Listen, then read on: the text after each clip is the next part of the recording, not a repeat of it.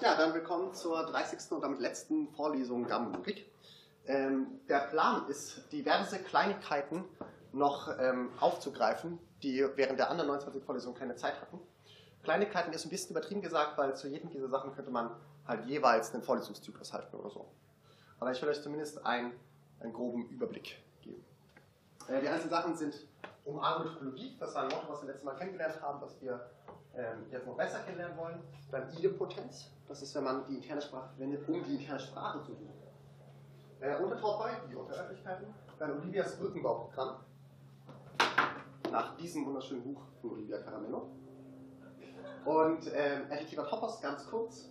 Unabhängigkeit von der Kontinuumshypothese. Ihr wisst ja, dass man die weder zeigen kann noch widerlegen kann, aber warum eigentlich? Können wir kurz versuchen zu machen. Und zum Schluss will ich zeigen, dass die Personen, die liegen in Gödel, ein und dieselbe Person sind. Also fangen wir einfach mal an mit der ersten Sache.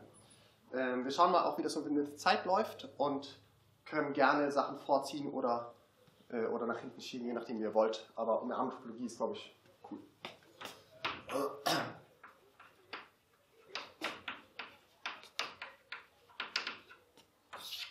Wird jetzt auch nicht ganz so strukturiert, weil wir halt sieben Themen durchkriegen müssen und ich euch jeweils immer nur so den, den Einblick zeigen will.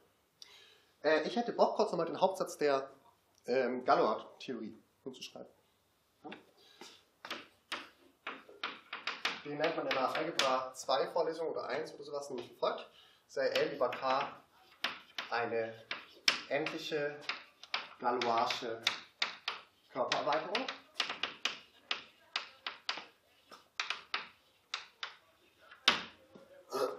Sei G die Menge der Automorphismen von L als Körper über K. Das ist zunächst eine Menge. Und dann tun wir da noch die Gruppenstruktur drauf, die sich durch Verkringelung ergibt.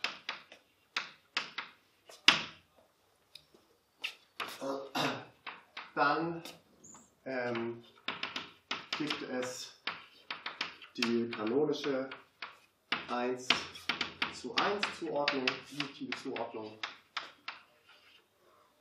Einerseits haben wir Untergruppen, Untergruppen von G und andererseits haben wir Zwischenerweiterungen von L über K. Und ähm, ihr erinnert euch auch, wie die Korrespondenz aussah, nämlich so eine Untergruppe H wird geschickt auf den Fixkörper L hoch H, also die Elemente aus L, die fix sind, unter allen Sigmas aus H. Und umgekehrt, so eine Zwischenerweiterung E wird geschickt auf die Gamma-Gruppe von L über E. Soweit so gut. Ja? Das ist ganz normal Hauptsatz der Galois-Theorie. Der hat auch noch einen Zusatz und so aber wir wollen es damit belassen.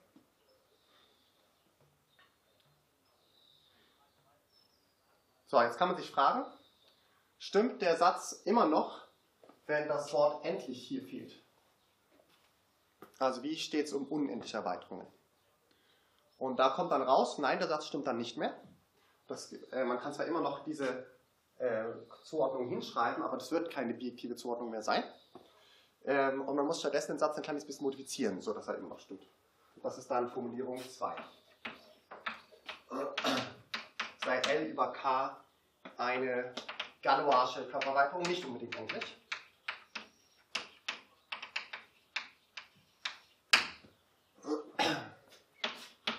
Sei G zunächst wieder die Menge der Automorphismen. Dann tun wir die Gruppenstruktur drauf wie eben auch, aber dann noch was. Nämlich, was man braucht, um den Satz zu retten, ist eine Topologie auf G, die dann G zu einer proendlichen Gruppe macht, nämlich die sogenannte Krull-Topologie.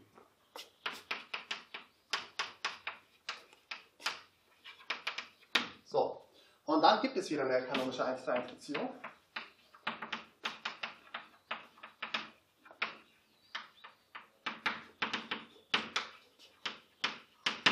Nämlich zwischen den abgeschlossenen Untergruppen von G abgeschlossen bezüglich der Kultopologie und den Zwischenerweiterungen.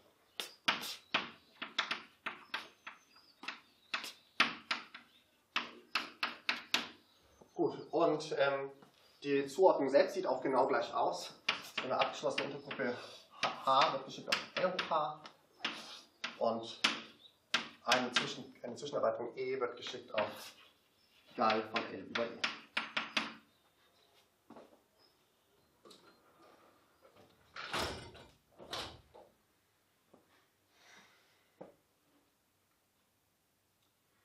Und die Untergruppen, die hier rauskommen, die sind halt automatisch abgeschlossen. Was man auch recht leicht nachprüfen kann, wenn ich euch die Definition der jetzt angegeben hätte. Und ähm, dadurch, dass man das so leicht nachprüfen kann, sieht man dann auch ganz am Anfang der Theorie schon, dass die Korrespondenz nicht sein kann, wenn man hier das Wort abgeschlossen weglassen würde.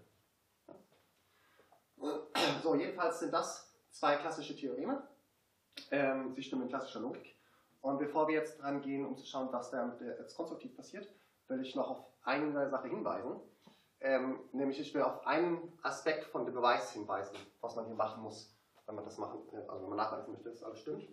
Nämlich man muss irgendwann mal nachweisen, dass so eine Zwischenerweiterung E gegeben ist durch L hoch Gal LE. Ja, wenn man nämlich zeigt, wenn man zeigen möchte, dass wenn man rechts startet, nach links geht und dann wieder nach rechts, dass dieselbe Zwischenerweiterung rauskommt. Dann muss man das nachweisen. Okay, und äh, das sind zwei Mengen, also zwei Inklusionen. Und die eine davon ist völlig klar. Die da nämlich. Die drückt nämlich gerade aus, dass jedes Element aus E invariant ist unter all solchen Sigmas, die alle Elemente aus E invariant lassen. Da kann dann das Element aus E, was wir genommen haben, gar nichts für sozusagen, sondern das liegt halt an den Sigmas, mit denen wir es bearbeiten. Also das ist eine triviale Aussage, das gilt ganz ohne Voraussetzung, muss nicht Galois sein, konstruktiv, alles. Ja? Schwierig ist diese Inklusion. Und da will ich nochmal ganz kurz andeuten, wie das funktioniert. Man nimmt sich halt ein x aus der rechten Menge, das heißt x aus L hoch Gal LE. So, wir wollen zeigen, dass es in E ist. Angenommen nicht.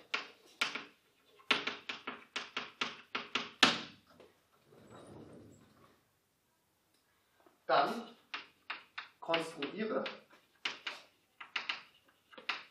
eine Abbildung Sigma ähm, von L nach L über K äh, durch Fortsetzung von einer gewissen äh, Folgeabbildung.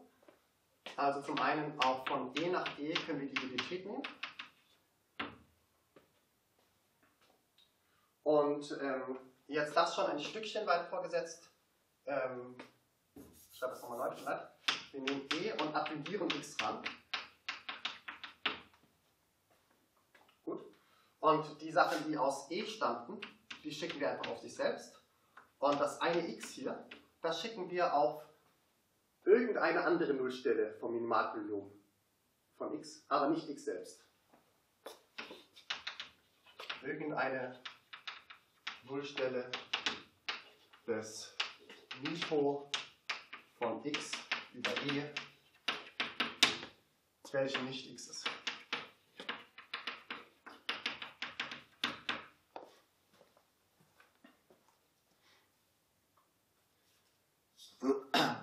Und was haben wir dann? Lasst mich das einfach noch gegenquetschen.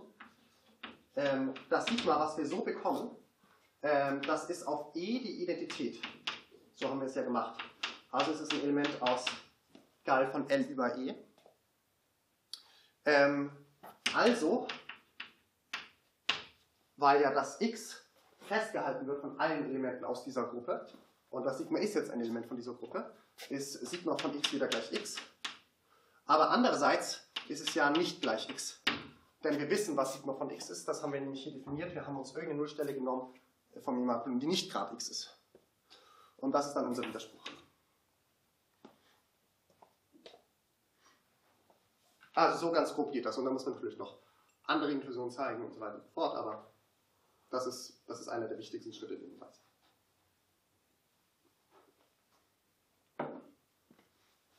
So, und da gehen jetzt ein paar Voraussetzungen ein. Zum einen gehen algebraische Voraussetzungen ein. Zum Beispiel hier habe ich gebraucht, dass das Mipo noch eine andere Nullstelle hat. Wenn x jetzt die einzige Nullstelle wäre, vielleicht p mal vorkommt, aber sonst die einzige, dann gibt es keine andere Nullstelle. Das erklärt, warum ich Separabilität brauche.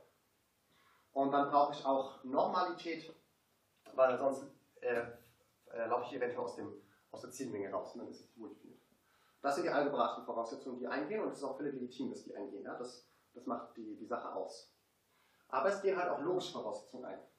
Einmal hier Widerspruchsbeweis.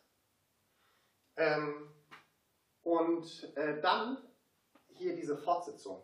Also wenn man das alles ein bisschen ruhiger macht, hätte ich noch erklären können, wie man die Abbildung von e von x nach e von x wirklich hinschreiben kann. Aber wenn ich die jetzt auf L fortsetzen will, dann verwende ich Sponge's Lemma. Ich betrachte die Partialordnung von allen partiellen Fortsetzungen auf immer größere Zwischenerweiterungen und dann zeige ich, dass die Max maximales Element hat mit dem Sponge's Lemma. Und dann zeige ich, dass diese maximale Fortsetzung schon auf ganz L definiert ist, weil angenommen nicht, dann könnte ich sie doch noch ein bisschen weiter fortsetzen und ähm, genau, dann, dann wäre das im Widerspruch. Gut. Und anhand eben von dieser ganz groben Beweisskizze erkennt ihr, dass sich Theorem 2 ganz sicherlich nicht konstruktiv beweisen lässt. Nicht in der Form, wie es jetzt hier präsentiert wird, ja, weil wir wirklich Widerspruch brauchen und dann vor allem sogar eine Ausgangsaxiom. Das ist, Widerspruch könnte man vielleicht wegbekommen, wenn man sich konzentriert und so, aber Ausgangsaxiom ist halt schon schwierig. Gut, jetzt ist der Hauptsatz der Gallo-Theorie aber trotzdem ein schöner und wichtiger Satz. Daher wäre es schön, wenn wir den retten könnten. Ähm, und vielleicht sollten wir anfangen bei der endlichen Version, wie man die rettet. Das kommt dann gleich eine schöne Überraschung, aber lasst uns das langsam machen. Äh, manche von euch waren vielleicht bei Mark in der Algebra. Mark hat die Algebra konstruktiv gelesen und hat trotzdem den Hauptsatz gemacht. Dann ist das jetzt irgendwie komisch, dann passt das gerade nicht damit zusammen, dass ich sage, dass dieser Satz hier nicht konstruktiv stimmt. Weiß jemand, der bei Mark damals war, was die zusätzlichen Adjektive waren, die man hier einsteuern muss, damit es konstruktiv korrekt wird?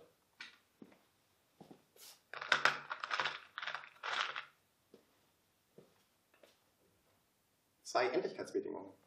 Also wenn man möchte, dass 1 konstruktiv gilt, ähm, dann ist, kann man nicht die Bijektion zwischen diesen Sachen formulieren, sondern nur zwischen den endlichen Untergruppen von G und den endlichen Zwischenerweiterungen von L A. Klassisch sind diese Adjektive natürlich redundant, weil wenn G eine endliche Gruppe war, was, was hier rauskommt, weil es eine endliche Galoische Erweiterung war, äh, dann werden natürlich alle Untergruppen endlich davon wieder. Aber konstruktiv kann man nicht zeigen, dass Teilmengen von endlichen Mengen wieder endlich sind, zumindest nicht mit der Definition, die man hierfür braucht und die ich gleich anschreibe. Daher ist das konstruktiv wirklich eine Einschränkung. Und mit dieser Einschränkung dann wieder kann man es zeigen und dann geht auch mehr oder weniger der bekannte Beweis durch. Ja. Also das muss man machen, um Theorem 1 konstruktiv zu retten. Endlich heißt dabei folgendes. Ähm, eine Menge m ist endlich genau dann, wenn m in Bijektion steht zu einer Menge der Form 1, 2 und so weiter n für eine natürliche Zahl n. n gleich 0 ist natürlich zugelassen, so kriegen wir die leere Menge. Äh, war das Dedekind endlich? Das war, ähm, ja, ich glaube, das ist Dedekind endlich. Und es gäbe halt dem gegenübergestellt noch Kuratowski endlich. Kuratowski endlich würde nur sagen, dass es eine Surrektion geben soll von der rechten Menge in die linke. Das würde also heißen, dass man eine vollständige Auflistung der Elemente hat, x1, x2 bis xn, mhm. aber dass man eventuell noch nicht weiß, welche von den Elementen gleich sind und welche ungleich sind. Dagegen, wenn man wirklich eine Bijektion hat, das heißt Bijektion in diesem Kontext, zu dieser Menge, dann ist automatisch die Menge m auch diskret. Das heißt, dann weiß man für je zwei Elemente, ob sie gleich sind oder nicht. Denn um das zu testen, können wir die Bijektion verwenden, um nach hinten zu gehen. Dort sind es nur natürliche Zahlen und von denen wissen wir, dass je zwei gleich sind oder ungleich sind. Also das ist eine sehr, sehr starke Endlichkeitsbedingung. Und wenn wir die halt nehmen, dann geht der Satz durch. Es ist nur ein bisschen unzufriedenstellend, weil das eben gerade so eine wahnsinnig starke Endlichkeitsbedingung ist. Es gibt noch, also potenziell gibt es noch viele weitere Untergruppen von G, die nicht endlich sind, auf die wir vielleicht aber trotzdem irgendwie den Hauptsatz anwenden äh, würden wollen wollen würden.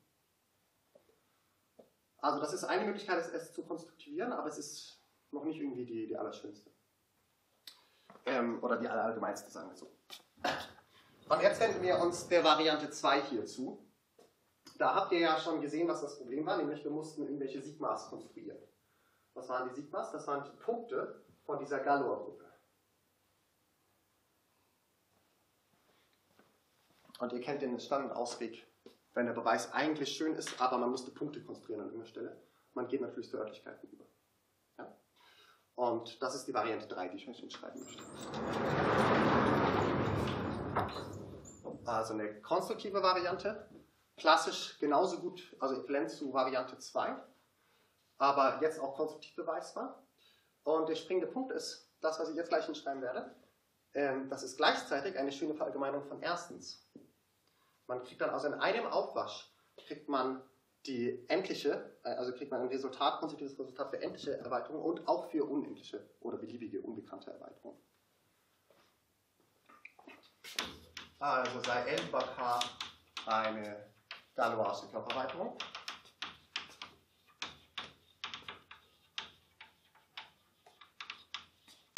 Mit Körper meine ich hier immer geometrischer Körper. Im Körper heißt genau dann geometrisch, wenn jedes Element 0 oder invertierbar ist. Das ist eine von fünf, sechs Körperbedingungen, die man konstruktiv stellen kann. Äh, und das ist die stärkste von, von denen, die mir jetzt gerade zum Kopf rumschwirren. Ähm, und ich könnte das noch genauer definieren, was Galois konstruktiv heißt. Je nachdem, in welchem Lehrbuch nachschlägt, ist es zufälligerweise schon die konstruktive Definition, aber wir wollen heute auch noch andere Sachen. So, und jetzt müssen wir das G richtig definieren. Und ich will euch überzeugen, dass, dass das nicht schwer ist, das G zu definieren. Jens, lass uns nochmal von links inspirieren. Ich schreibe das nochmal aus. Das war der topologische Raum der K-Körper-Isomorphismen, Automorphismen oder Isomorphismen von L nach L. Ja? So war es links bei zweitens. Und ähm, wenn man ganz genau ist, war, ist das hier noch keine fertige formale Beschreibung. Ähm, denn ich muss ja noch angeben, was die Topologie drauf ist. Das ist eben die Krull-Topologie und die habe ich euch ja aber verschwiegen anzugeben. Das heißt, der Leser müsste hier noch aus dem Kontext erschließen, welche Topologie vermutlich gemeint ist. So, jedenfalls ist ja aber nicht die, äh, ist das jetzt, war, war das noch nicht die konstruktive Definition. Konstruktive Definition bekommen wir, wenn wir nur das Wort topologischer Raum ersetzen durch Örtlichkeit. Örtlichkeit der K-Körperisomorphismen von L nach L. Auch jetzt muss der Leser noch irgendwie ein bisschen was erschließen, aber weniger als eben und er kriegt dann gleich mehr frei Haus. Ähm, immer wenn man die Formulierung hat, topologischer Raum, der hm, hm, dann muss der Leser ja nochmal nachschlagen, was waren denn eigentlich die hm, hm, bildet so die Menge all dieser und dann muss er sich halt eine Topologie überlegen. Was ist die implizite Konvention bei Örtlichkeit der? Da muss er folgendes machen. Er muss sich auch nochmal nachschauen, worum es hier geht. Er muss sich die Axiome daraufhin auflisten. Erkennen, dass, das, äh, dass die Axiome propositionale geometrische Axiome sind. Und dann bildet er einfach die klassifizierende Örtlichkeit dieser Dinge. Und dann ist die Topologie, also die Örtlichkeitsstruktur, frei Haus mit dabei. Ne? Ist schon eine fertige Örtlichkeit. Die klassifizierende Örtlichkeit der Theorie der K-Körperisomorphismen. Die ist hier gemeint. Und die Sprechweise ist berechtigt. Denn ihr wisst ja, was die Punkte von der klassifizierenden Örtlichkeit von der Theorie sind. Nämlich genau die Modelle von dieser Theorie in Z. Das heißt, die, Modelle, die Punkte von dieser entstehenden Örtlichkeit hier, das werden die Modelle von dieser Theorie in Z sein. Das heißt, es werden K-Körperisomorphismen sein. Das heißt, die zugrunde liegenden Punkte von dieser Örtlichkeit, auch wenn sie die Örtlichkeit nicht vollständig festlegen, sind trotzdem interessant. Das sind eben genau die Sachen, die hier nach dem der stehen. Das sind auch genau dieselben Punkte, wie der topologische Raum bei zweitens Punkte. Also so kann man das machen. Und äh, dann lautet der Satz wie folgt. Dann gibt es eine kanonische 1 zu 1 Beziehung zwischen den unter unter stetige Gruppe Plural n von G und den Zwischenfaktor.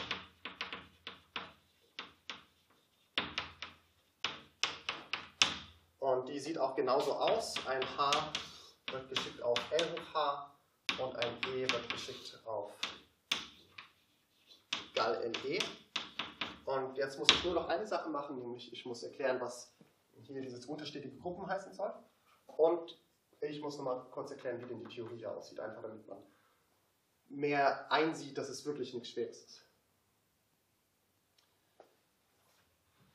Also, eine Sache hatte hier nämlich noch gefehlt, nämlich irgendwie eine Gruppenstruktur. Bisher ist das nur sowas wie ein Raum, das ist halt eine Örtlichkeit. Also wir brauchen noch eine Gruppenstruktur drauf. Und ähm, was ist damit gemeint? Ähm, damit ist gemeint, dass das G zu einem Gruppenobjekt in der Kategorie der Örtlichkeiten wird. Das heißt, wir brauchen sowas wie G kreuz G nach G, so ein Morphismus im Log und ein ähm, Inversionsmorphismus, das ist das Zusammenkringeln, das ist das Invertieren. Und wir brauchen ein neutrales Element auch, das wäre so gegeben. Und dann Aktionen. Also die Gruppenstruktur, da genügt es jetzt nicht mehr, wenn ich die irgendwie auf Elementen angebe oder auf Punkten, weil die Punkte sind, legen die Örtlichkeit ja noch nicht fest. Aber ich kann mich halt ein bisschen von der Kategorientheorie inspirieren lassen, da weiß ich auch, was ein Gruppenobjekt in irgendeiner beliebigen Kategorie ist. Nämlich genau eine Sache, die durch diese Daten mit den üblichen Axiomen, die man als Diagramme formulieren muss, gegeben ist. Okay, also die muss ich noch dazu machen und dann wird das Ganze zu einem Gruppenobjekt in der Kategorie der Örtlichkeiten. Und Gruppenobjekte in anderen Kategorien, die kennt ihr auch schon, zum Beispiel Gruppenobjekte in der Kategorie der Mannigfaltigkeiten, die haben einen Namen, das sind die sogenannten Lie-Gruppen. Ähm, oder Gruppen oder Vektorraumobjekte in der Kategorie der topologischen Vektorräume, äh, in der Kategorie der topologischen Räume haben auch einen Namen, nämlich das sind die topologischen Vektorräume. Also diese Art der Begriffsbildung kennt ihr schon. Ähm, und Marx Vorschlag, nur mal so beim Mittagessen dahergeredet, für einen trivialen Namen für Gruppenobjekte in der Kategorie Örtlichkeiten ist eben der Begriff stetige Gruppe. Der passt genauso schlecht wie differenzierbare Mannigfaltigkeit. Eine differenzierbare Mannigfaltigkeit ist ja auch nicht differenzierbar. Das kann ich nicht ableiten. Die bringt nur genügend Struktur mit, damit ich Funktionen auf ihr ableiten kann. Oder Differentialformen oder so. Ähm, also genau ganz gleich schlecht ist dieser Begriff hier. Also ist vielleicht okay, das so zu sagen. Also ich meine damit jedenfalls ähm, Unterobjekte in der Kategorie der Gruppenobjekte über Örtlichkeiten. Gut, also das ist zum Verständnis von der Bijektion, äh, von der, von der 1-1-Beziehung. Und jetzt würde ich euch gerne noch angeben, wie diese Theorie aussieht. Ja. Ähm, überhaupt nicht schwierig.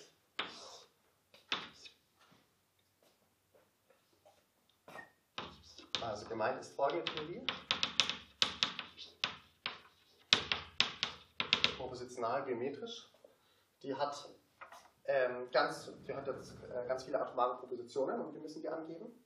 Nämlich atomare Propositionen Phi Index XY für x und y aus L.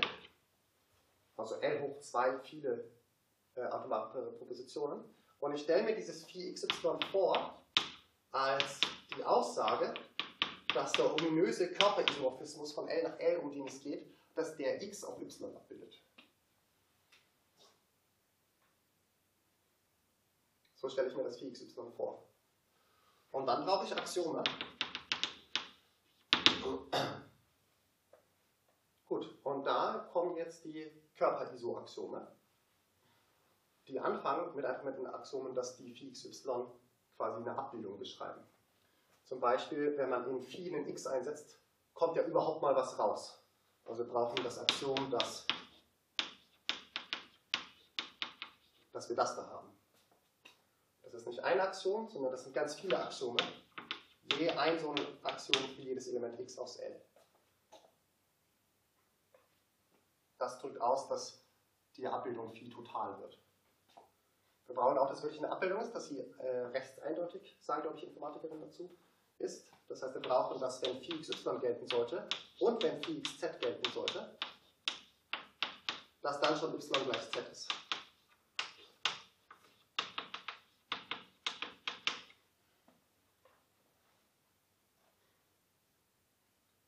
So, jetzt ist es eine Abbildung. Ja? Dann brauchen wir sowas wie Surjektivität. Surjektivität wäre ähm, das da. Und diesmal haben wir je ein so eine Summe für jedes y aus L. Das drückt dann halt aus, dass es immer irgendein x gibt, sodass 4xy stimmt. Das ist Surjektivität. Dann, dann noch Injektivität und dann noch Axiome, dass es wirklich ein Körper-ISO wird, sowas wie, dass die 0 auf die 0 geht. Das könnte man so ausdrücken. 4, 0, 0. Gut, und dann noch ein paar weitere Aktionen. Aber jetzt habt ihr das Prinzip verstanden. Ne? Und so komme ich auf diese Theorie. Dann. Eine etwas äh, weitergehende Frage. Ja. Also es wirkt ja irgendwie künstlich, dass man jetzt für jeden zwei Elemente in einem Körper irgendwie so ein eigenes Axiom hat. Gibt es eigentlich eine Definition von Körper, die ohne Körperelemente auskommt? Mm. Ja, extrem wichtige Frage. Äh, natürlich auch im Hintergrund von Mainstream-Mathematik, denn wir wollen ja irgendwann einen Körper mit einem Element verstehen. Und der ist ja nicht die Menge, die ein Element enthält und dann geschäft Klammer zu. Das wäre der triviale Ring, der nicht interessant ist. Ähm, also ja, gibt es. Da gibt es halt 15 verschiedene Ansätze oder sechs verschiedene Ansätze und es ist noch nicht von allen klar, wie die sich verhalten und welche besonders gut sind und so. Einen Ansatz will ich gleich nochmal erwähnen, aber kenne mich da auch nicht besser aus. Das ist hier quasi schon, das ist so ein bisschen ein, ein Mischmasch und zwar auch absichtlich ein Mischmasch. Man sagt, Körper sind weiterhin Mengen mit einer Addition drauf, mit einer Multiplikation drauf und so weiter. Nur die Gruppen dran oder sowas sind nicht mehr normale Gruppen, Gruppen, die aus, die aus, die aus den Mengen sind und dann noch eine Struktur, sondern es sind halt Örtlichkeiten und eine Struktur drauf. Ähm, und dann ist es recht natürlich, so eine Theorie hinzuschreiben. Ja? Modelle von dieser Theorie, die würden ja jeder atomaren Proposition einen Wahrheitswert zuordnen, und zwar so, dass die Axiome erfüllt sind. Und aus so einer Riesenansammlung von Wahrheitswerten kann man halt dann genau eine äh, Bijektion, genau einen Körper, K-Körper-Isomorphismus von N nach L basteln. Indem man sich eben anschaut, für festes x, welches Phi xy war es? Genau eines von denen es war und so weiß man dann, wohin man das x schicken muss.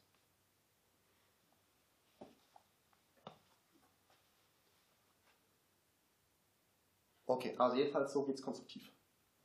Und jetzt will ich das einfach nochmal als Motto zusammenfassen. Ähm, was, was war das, das Problem? Das Problem hier war, dass das OutKL quasi eine wahnsinnig große Gruppe ist im Allgemeinen und dass man nur dann mit ihr zurechtkommt, wenn man sich traut, Topologie zu betreiben, nämlich die Krull-Topologie drauf zu machen. Und dasselbe Motto gibt es halt in der konstruktiven Mathematik, Mathematik auch, nur mit zwei Veränderungen. Erstens, Topologie machen heißt dann immer Örtlichkeitstheorie betreiben. Ja? Topologische Räume sind noch nicht gut genug. Und zweitens aber, das kommt alles viel früher zum Vorschein. Das Nummer erstens hier ging ja entweder mit der roten Modifikation oder klassisch auch ohne Modifikation auch schon so durch für endliche Erweiterung. Erst als wir zu unendlichen Erweiterungen gekommen sind, brauchte man in der klassischen Situation Topologie. Konstruktiv ist es so, dass die Topologie einem schon viel, viel, viel früher hilft. Ja? Auch schon bei endlichen Erweiterungen hilft einem Topologie, weil das da eben ein konstruktiv gültiger Satz ist, auch für endliche und auch für unendliche Erweiterungen. Und gleichzeitig ist es aber nicht so, dass das jetzt irgendwie komplizierter geworden wäre, zumindest nicht aus meiner Sicht, weil ob ich hinschreibe, die Gruppe der, oder erstmal, ob ich hinschreibe, die Menge der K-Körper-Isos oder ob ich schreibe, die Örtlichkeit der K-Körper-Isos, das ist fast das Gleiche. Ja, beides Mal muss ich mir der Axiome gewiss sein, ich muss die kennen, damit ich weiß, was das bedeutet. Und dann rufe ich halt einmal so Mengenlehrer auf, die mir, die mir dann, die ich dann bitte, eine Menge zu konstruieren, wo all die Sachen drin sind. Und einmal rufe ich die Örtlichkeitstheorie auf, mit der Bitte, mir eine Örtlichkeit zu konstruieren, deren Punkte das dann sind. Und hier kommt halt gleich automatisch Topologie mit dazu. Ähm, ich lade dich herzlich ein, das noch genauer zu analysieren. Zum einen gab es eine Übungsaufgabe dazu. Zum anderen wurde das in den Ende 80er Jahren, glaube ich, gemacht. Habe gerade seinen Namen vergessen, eventuell Eduardo de Buc. Ähm, findet ihr auf jeden Fall, wenn ihr irgendwie nach Gallo 3 und Locale sucht. Ähm, Und ist wirklich ganz schön. Es gibt noch viele Details, die man hier lernen müsste, zum Beispiel, was überhaupt L hoch H heißen soll, wenn H ja gar nicht aus Punkten besteht, ja, so was damit gemeint ist. Macht auf jeden Fall Spaß, sich damit zu beschäftigen. Was hat man davon? Man hat es zum einen konstruktiv und das hat dann weitere Auswirkungen, ne, weil man zum Beispiel automatisch parameterabhängig hat, weil man das, was dann hier passiert ist, auch in einem Topos ähm, machen kann. Und dann hat man Galotti den Hauptsatz nicht nur für Körperweiterungen, sondern auch für Erweiterungen von Garben von Körpern. Okay, das war Nummer 1. Gibt es dazu Fragen?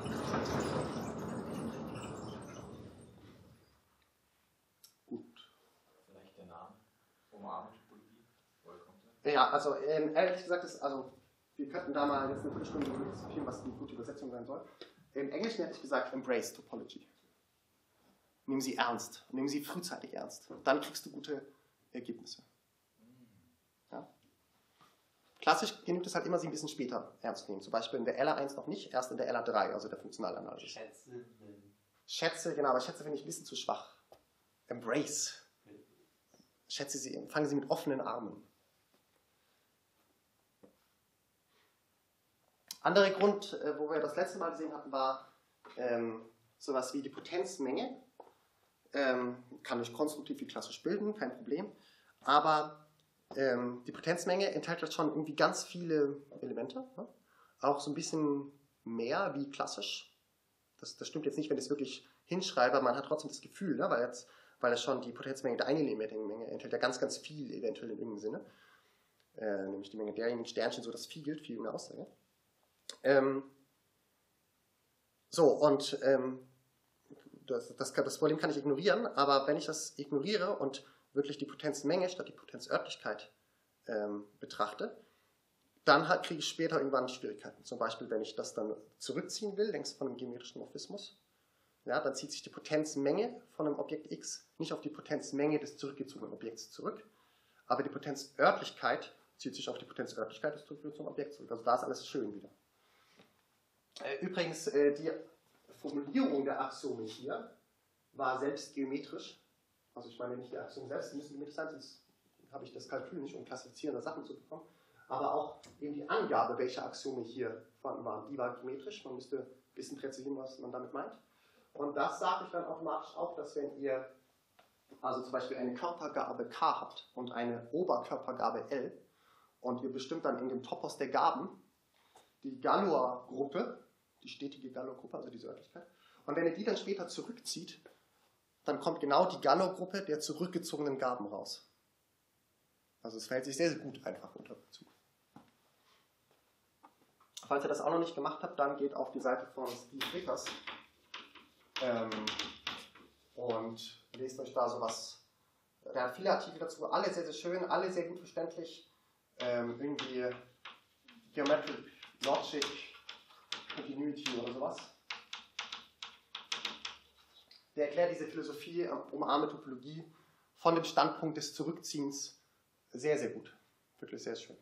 Alles, was ich darüber weiß, habe ich gut gelernt. Okay, lasst uns weitermachen mit Idempotenz. Idempotenz ähm, geht kürzer. Das ist im Wesentlichen nur ein Theorem, was ich euch verraten möchte. Theorem. So, sei x eine Örtlichkeit, sei y eine Örtlichkeit über x. Das war nichts Schlimmes. Örtlichkeit über x heißt nur, dass es eine Örtlichkeit ist die noch daherkommt mit einem Örtlichkeitsmorphismus nach x. Und dieser Morphismus ist Teil des Datums.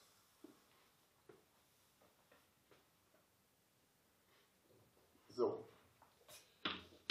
Sei 4 eine Formel über dem größten Objekt des Rahmens von y.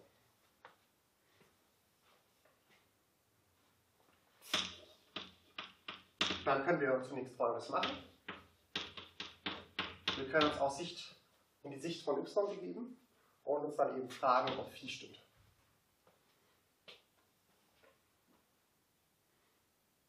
Das ist ja eine Sache, die wir noch können. So, und je nachdem, ob Phi stimmt, ne, äh, oder je nachdem, was Phi ist, ist das eine wahre Aussage, eine falsche Aussage. Und ihr müsst mir einen Klassizitätspunkt geben. Ne?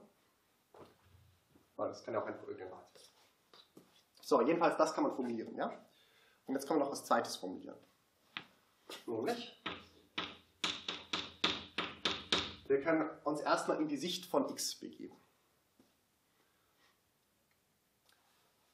Und in dem Gabentopos über x, da gibt es ein Abbild von y, nämlich i von y.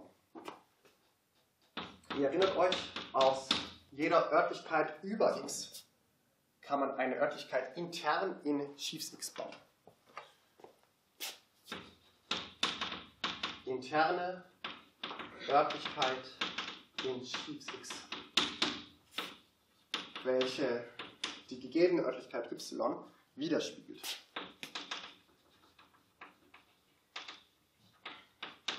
So. Und ähm, wenn wir uns jetzt einfach komplett in die interne Sicht begeben und auch so einen kleinen Sprung vielleicht noch wagen, dass wir mehr Mathematik intern betreiben, als wir offiziell gesehen haben, was man machen kann, dann können wir, wenn wir so ein bisschen verschlüsselt Folgendes machen. Wir können intern auch den Topos der Gaben drüber betrachten. Wir haben eine interne Sprache und wir können aus seiner Sicht halt uns die Frage stellen, ob Phi gilt.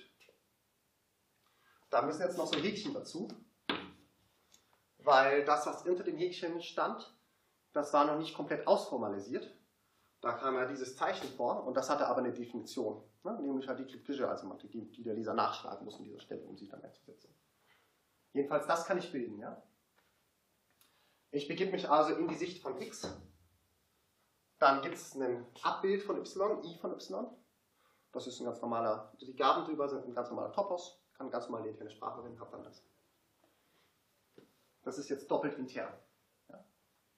Und man kann sich fragen, ob es irgendeinen Bezug dazwischen gibt.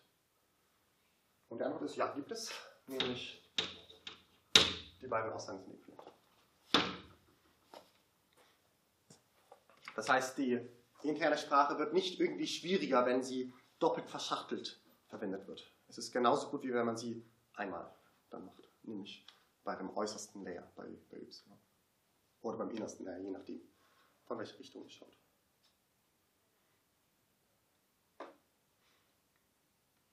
Das Ganze kann man noch aufpowern, wenn man das möchte. Ähm, dann hättet ihr aber momentan nicht die Möglichkeit, das zu zeigen, weil wir einfach die Begriffe nicht eingeführt haben. Aber es ginge, ich habe es euch mal an.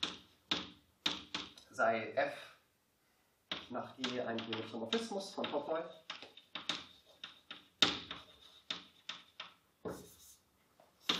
Sei Phi eine Formel über f.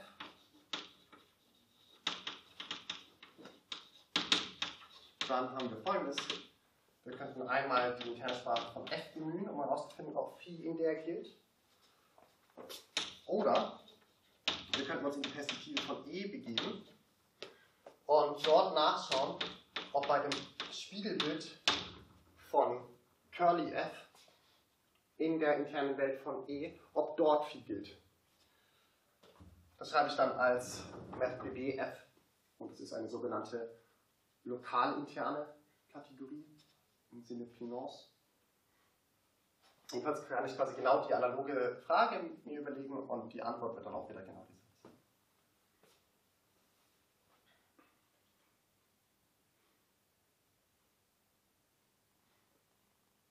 Okay, ähm, nur noch eine Sache dazu. Ich möchte euch die Idee geben, wie man das zeigen kann.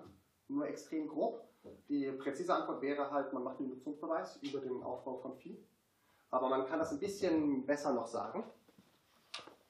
Äh, nämlich im Spezialfall.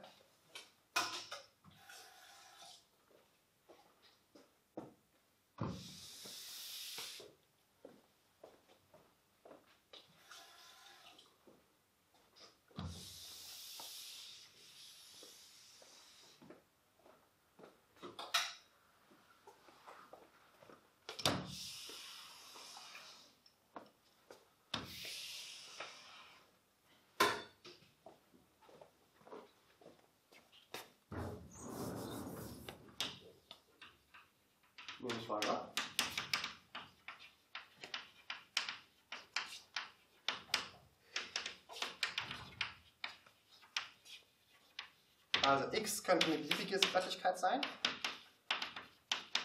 Aber jetzt lasst es y ein bisschen leichter machen. Lasst nicht irgendeine Örtlichkeit über x nehmen, sondern die einfachste Örtlichkeit über x, die terminale Örtlichkeit über x, also wieder x selbst.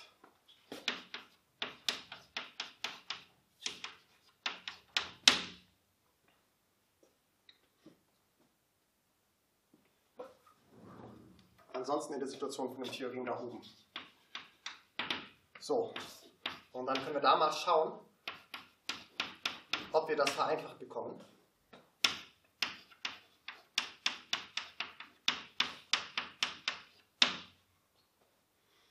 Wir starten dort, möchten jetzt mehrere Klärungsumformungen machen, bis wir auf der linken Seite angekommen sind, also dort. Und das fällt uns jetzt gar nicht schwer, ja, zumindest wenn wir ein bisschen skaten über Details. Zum Beispiel wisst ihr ja, was i von y ist in diesem Fall.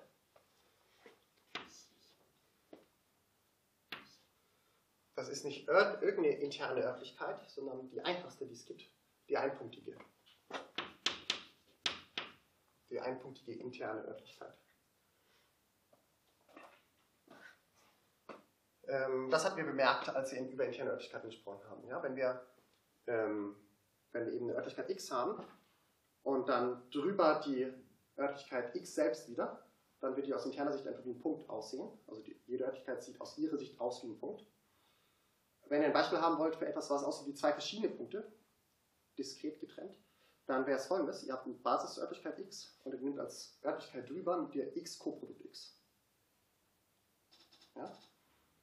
Weil jetzt quasi jeder Punkt zwei Fasern, zwei U-Bilder hat. Quasi, ja ist es aus interner Sicht einfach so, dass das jetzt ein zweipunktiger, diskreter Raum ist. So, aber hier haben wir jedenfalls das. Wir können das also umformulieren zu dem da. Und jetzt erinnert man sich daran, was an der internen Sprache vom Topos de Gaben über dem einpunktigen Raum so besonders ist. Nämlich, das ist eigentlich gar nicht so eine interne Sprache oder so, sondern das ist einfach die normale Sprache. Das heißt, wir haben hier viel.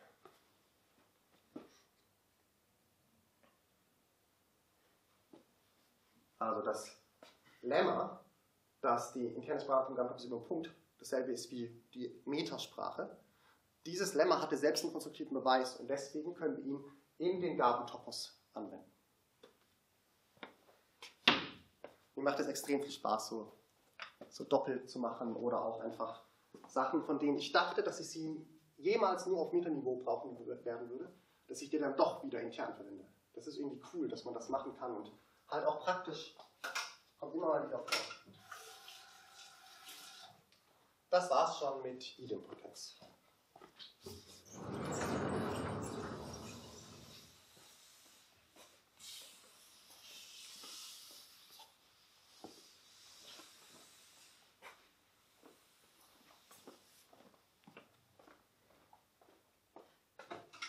Habt ihr dazu Fragen?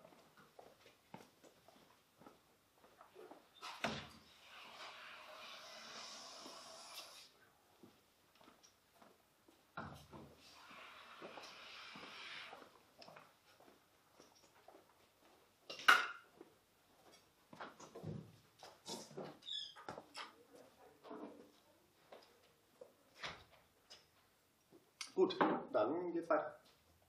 Ich würde vorschlagen, wir machen direkt weiter bei Nummer 4, weil das wichtiger ist als 3. Olivias Brückenbauprogramm.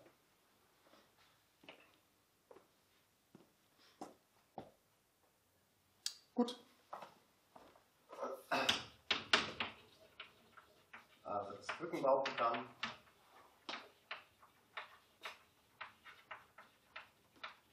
von Olivia Caramello.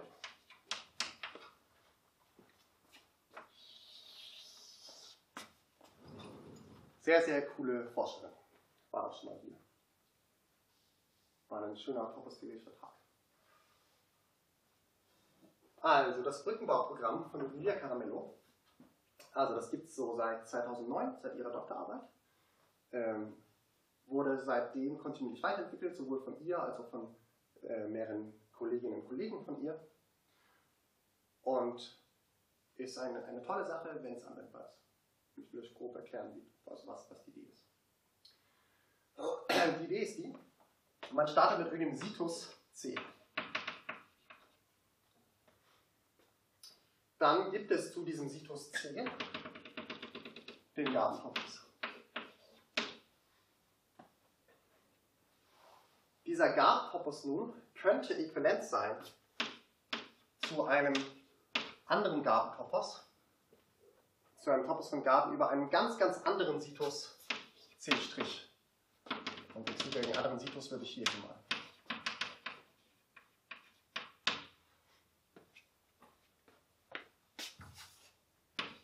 So, diese Situation, dass wir zwei Sieten haben, deren zugehörige Gabentopoi äquivalent sind, diese Situation nennt Olivia eine Brücke. Das ist eine Brücke, eine topostheoretische Brücke von C nach C' oder andersrum, die nur sichtbar wird, wenn wir uns trauen, auf die Ebene der Topoi zu gehen. Es ist nämlich so, dass, ähm, also dass diese, so eine Brücke beson äh, besonders große Tragweite dann entfaltet, wenn sich die Sieten C und C' überhaupt nicht ähneln, sondern wenn die ganz, ganz anders aussehen. Wenn es dann trotzdem eine Verbindung gibt, dann ist das eine schöne Sache. Ähm, ich will euch gleich ein Beispiel zeigen für so eine Brücke. Vielleicht zwei Beispiele, eins nur so zum Kennenlernen und dann ein interessanteres. Aber ich will euch noch sagen, was man anstellen kann, wenn, äh, wenn man das gefunden hat. Das sind mehrere Dinge, die man anstellen kann. Äh, und ihr, ihr, schönes Buch ist, äh, ist also geprägt durch zahlreiche Beispiele und es ist wirklich gut geschrieben. Ich lade euch ein, das mal durchzustöbern. So, aber ich euch ein paar Aspekte zeigen. Ähm, ja.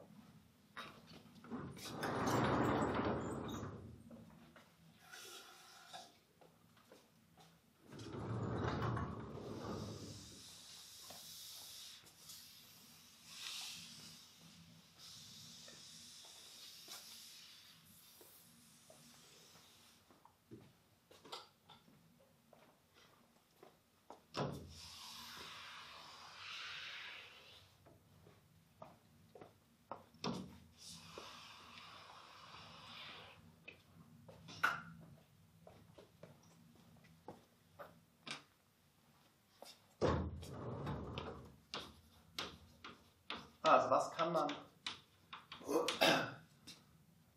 kann man mit einer solchen Brücke anstellen?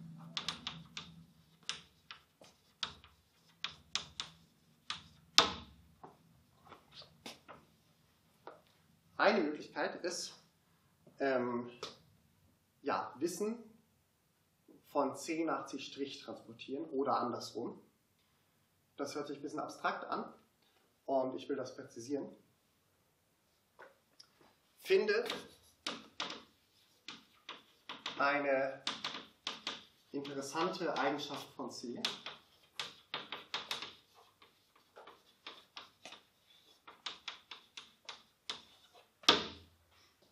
Ja, C ist auch unabhängig davon, dass wir später die Kategorie Gaben drüber bilden, ist es vielleicht eine interessante Kategorie, mit der wir starten vielleicht die Kategorie, die Kategorie derjenigen Objekte von dem Lieblingsgebiet, was wir gerade haben oder so. Ja? Und dann haben wir vielleicht irgendeine interessante Eigenschaft von C. Finde eine Möglichkeit,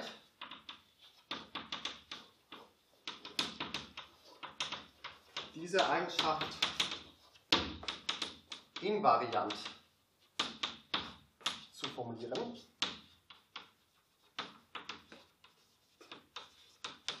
Das heißt, auf eine Art und Weise,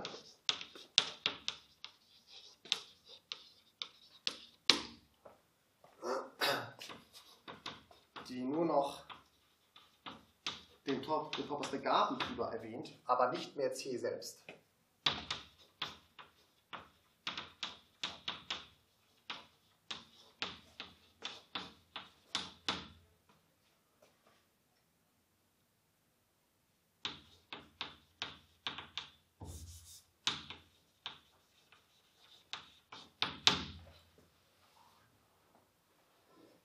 Das geht nicht bei allen Eigenschaften von einem Situs, ja? aber bei, bei vielen interessanten geht es. Was ist dann der Punkt? Der Punkt ist, wenn man weiß, dass die Eigenschaft für C gilt, dann weiß man halt auch, dass diese umformulierte Eigenschaft für den Gabentopos gilt. Und weil der Gabentopos äquivalent ist zu dem anderen, gilt dann die Eigenschaft auch für diesen anderen Gabentopos. Und jetzt kann man wieder sich fragen, was das dann eigentlich für C' aussagt. Finde heraus, was die Gültigkeit dieser Eigenschaft, die Gültigkeit dieser Eigenschaft für den anderen Gabentopos über C' aussagt. Also das ist die ganz abstrakte Anleitung, die man befolgen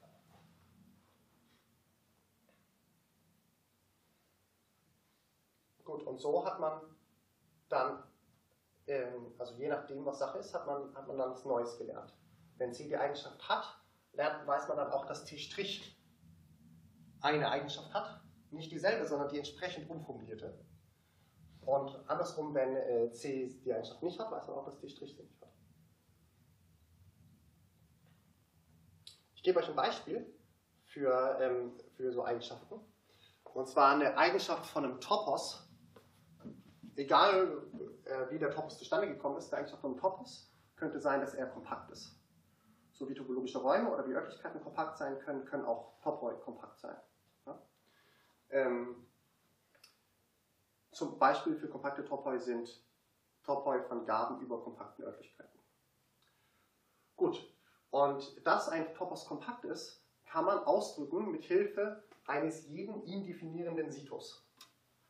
Ähm, das wäre so, dann müsst ihr euch nicht merken oder so, könnt ihr alles nachlesen, ähm, aber gerade für Kompaktheit wäre es so, der Gabentopos über einem Situs ist genau dann kompakt, wenn jede Überdeckung, die zu C gehört, verfeinert werden kann zu einer endlichen Überdeckung.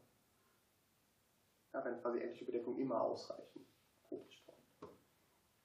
Gut, und das kann halt für C ganz, in der Praxis dann ganz, ganz anders aussehen wie für C'. Trotzdem, dank der Brücke, kann man eine Äquivalenzbeziehung dann finden. Wenn man irgendwie rausfindet, dass C ähm, diese Eigenschaft hat. Dann weiß man, der Gabentopos drüber ist kompakt, dann ist dieser Topos kompakt, weil es derselbe Topos ist. Und dann weiß man, C' hat auch diese Eigenschaft mit diesen endlichen Überdeckungen. Und das ist dann eventuell was Neues, was einem vorher nicht klar war. Also das ist eine von solchen Eigenschaften. Und dann gibt es halt noch 20 andere. Ja? Man kann auch immer noch mehr entdecken, das ist nicht abgeschlossen. Ähm, Daniel hat das in sehr schöne Worte gepackt dieses Vorgehen. Mal schauen, ob ich mich da richtig entsinne wieder. Ähm, denn hier wird gewissermaßen das übliche Vorgehen in der Mathematik auf den Kopf gestellt. Normalerweise geht man induktiv vor. Ja? Man hat irgendwie Sachverhalte, Teilgebiete, die Objekte, die man untersuchen will, und man lernt halt Eigenschaften über die und dann findet man irgendwelche Querverbindungen und so und schaut sich das so an. Hier ist das ein bisschen anders, ähm, weil man nämlich nicht im Voraus planen kann, wie die Übersetzung für C' aussehen wird. Also was man hier einfach macht, ist, man hat irgendeine interessante Eigenschaft von C, findet raus, wie man die formulieren kann, ohne C selbst zu verwenden, sondern nur indem man einen Gabentopos verwendet. Und dann lässt man sich überraschen, wie man diese Eigenschaft dann, äh, also was die dann über C' aussagt. Und das kann man halt im Vorhinein nicht so gut planen. Deswegen ist das ein bisschen ein oft im Kopf gedrehtes Vorgehen.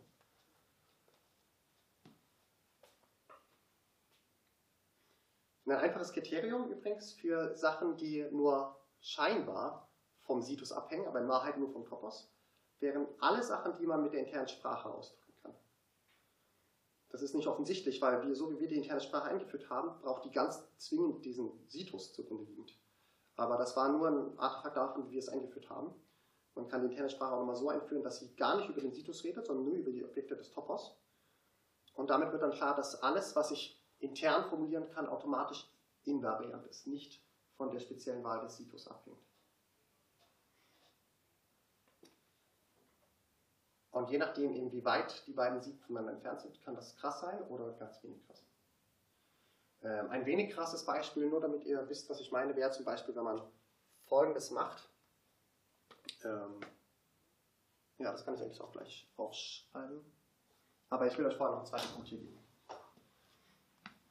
Die andere zweite Sache ist,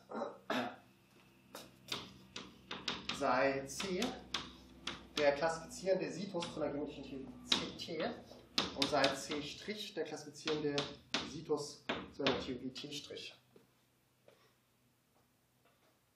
Dann weiß man automatisch Folgendes, und das kann halt in konkreten Situationen auch wieder interessant sein. Nämlich, einerseits kann man sich kann man Quotienten von t betrachten. Was heißt Quotienten von t? Das sind ähm, wiederum Theorien, äh, geometrische Theorien, äh, die über dieselbe Signatur wie t formuliert sind und die auch mindestens dieselben Axiome haben wie t, aber dann eventuell noch weitere dazu. Also eine Quotiententheorie bekommt einfach, wenn man weitere Axiome ergänzt. Beispiel, man startet mit der Theorie der Ringe und ergänzt dann das Axiom, dass der Ring lokal sein soll. So wie Quotienten von propositionalen geometrischen Theorien unter Örtlichkeiten der klassifizierenden Örtlichkeit entsprechen, entsprechen die Quotienten von einer geometrischen Theorie, die vielleicht nicht propositional ist, dem Untertopoi von Gabenhaus Das wäre ein Theorem, was quasi in Abschnitt 3 gekommen wäre. So, und weil die beiden Topoi nach Voraussetzungen äquivalent sind, steht diese Partialordnung von Untertopoi in, eins, äh, in, in Isomorphie zu den Partialordnungen Untertopoi von anderen Topos. Und die stehen wieder nach diesem Theorem in 1 zu 1 Beziehung zu den Quotienten von T'.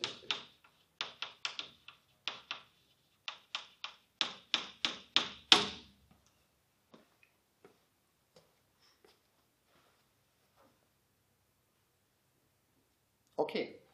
Und so hat man eine ganz interessante Verbindung geschaffen zwischen den Theorien T und T'. Die sind eventuell nicht bi-interpretierbar. Das heißt, es ist nicht möglich, einfach eine syntaktische Übersetzung zwischen den Theorien anzugeben. Trotzdem kann es eben so eine Brücke zwischen den Theorien geben, in diesem Sinne. Und dann weiß man, dass zu jeder Menge an Zusatzaxiomen, die man sich bei T gönnen kann, eine entsprechende Menge von Zusatzaxiomen gibt, die man zu T' zunehmen muss. Und so gibt es dann also doch irgendwie eine, eine syntaktische Verbindung, aber über einen semantischen Umweg und auf ganz andere also auf einer, auf einer höheren Art und Weise. Ja? Da kann man immer dann tatsächlich, also irgendwie algorithmisch bestimmen, wenn ich jetzt einen Quotienten mhm. habe, was, was dann der entsprechende Quotient ja, ist. Oder eigentlich ist es doch, ist es ja doch nicht eindeutig bestimmt, oder? Doch, der, doch, doch. Achso, ja, doch. Ja, weil es eine Bijektion ist, ja. genau. natürlich, ähm, äh, also so ein Quotient selbst, der, der ist nicht, also da hat man schon eine Äquivalenzrelation drin, nämlich zwei Quotienten von der Theorie identifiziert man, wenn sie dieselben ähm, Resultate zeigen. Okay. Das heißt, äh, die genaue, auf die genaue Wahl der Axiome kommt es nicht an und zwischen denen gibt es auch keine 1 zu 1 Übersetzung, nur zwischen den Konsequenzen dann wieder von diesen Axiomen.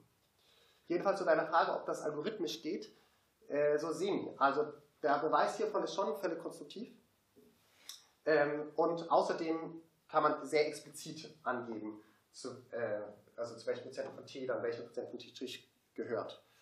Aber es gibt in der Praxis trotzdem noch ein kleines Problem, nämlich die Beschreibung, die man dann bekommt, ist erstmal so eine wahnsinnig unökonomische, wo dann nicht einfach dran steht, okay, nimm folgende fünf Zusatzaxiome dazu, sondern nimm folgende Menge von Axiomen dazu, die, die erstmal riesig groß sein kann. Und dann brauchst du jeweils noch Kreativität, zusammen mit anderen systematischen Verfahren noch, aber vor allem auch eine große Prise Kreativität, um dann von dieser großen Menge an Zusatzaxiomen, unendlich großen Menge, herauszufinden, welche wenigen Axiome eigentlich genügt hätten, um dieselben Konsequenzen zu generieren. Ähm, das macht für mich dieses Brückenbauprogramm auch so faszinierend, weil es ein schönes Zwischenspiel ist zwischen sehr systematischen Anteilen und kreativen Anteilen.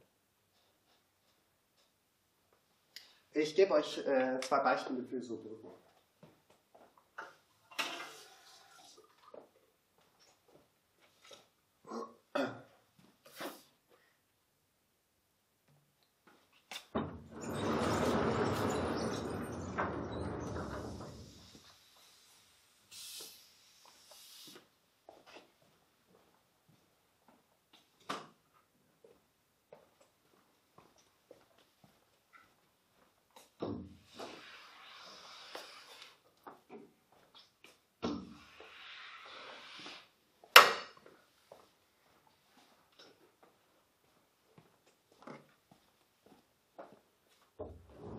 Also, ein erstes Beispiel für eine Brücke.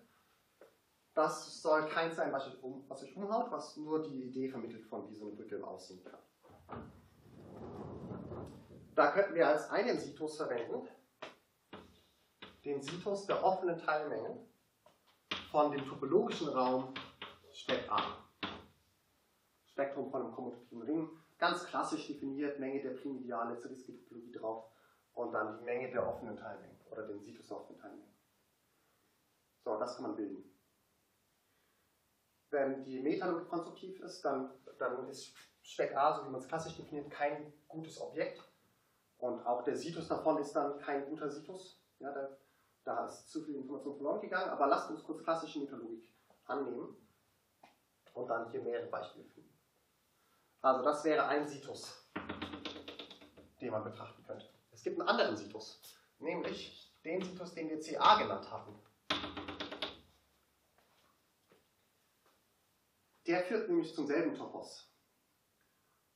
Und zwar dann, äh, und zwar zum guten Topos, auch dann, wenn die Methodologie konstruktiv ist. Äh, dann könnten wir noch was machen. Wir könnten den klassifizierenden Situs von der Theorie T nehmen, wobei die Theorie die folgende Theorie ist.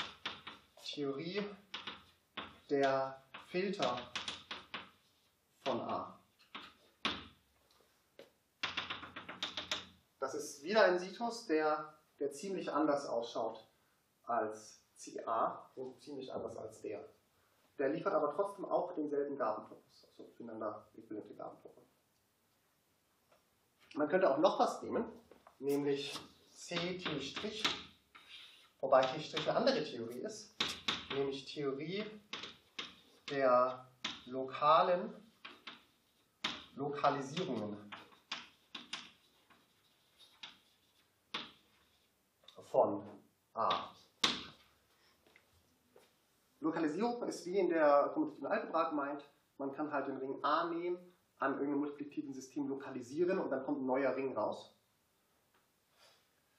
Und ähm, jetzt will ich nicht all solche Ringe betrachten, sondern nur die, die dann zufälligerweise selbst lokal sind.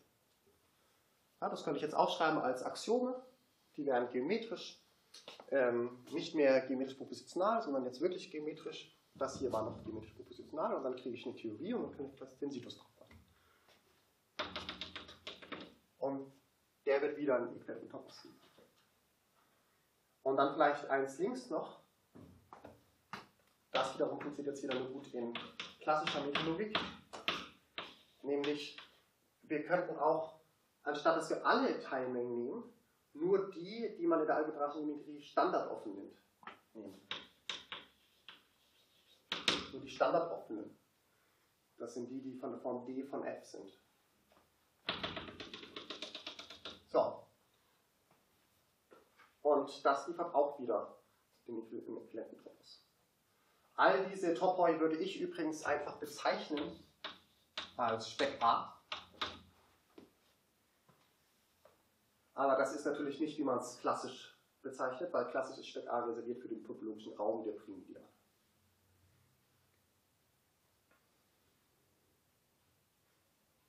So.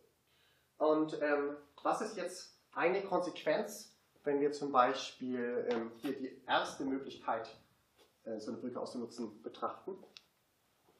Ich lerne zum Beispiel in einer Standard-Anfängervorlesung oder Algebraische lerne ich, dass das Spektrum von A kompakt ist.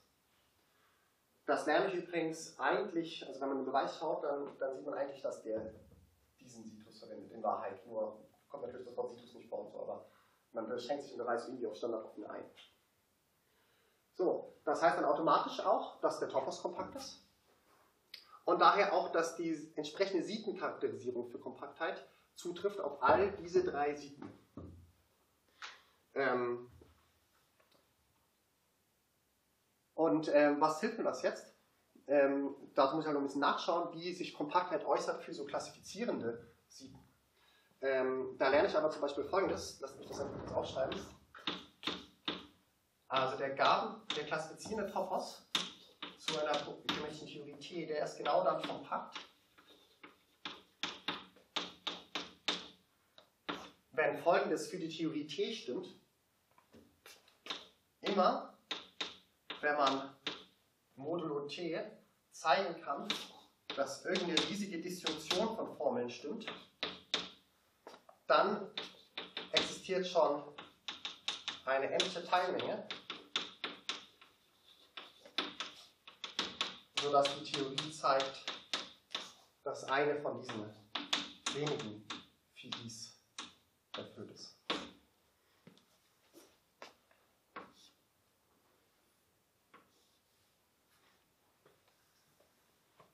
Erinnert euch an die Disjunktionseigenschaft aus dem ersten Kapitel der Vorlesung, welche HA hat und PA nicht hat. Wenn PA Phi oder Psi zeigt, dann heißt es noch lange nicht, dass PA Phi zeigt oder dass PA Psi zeigt.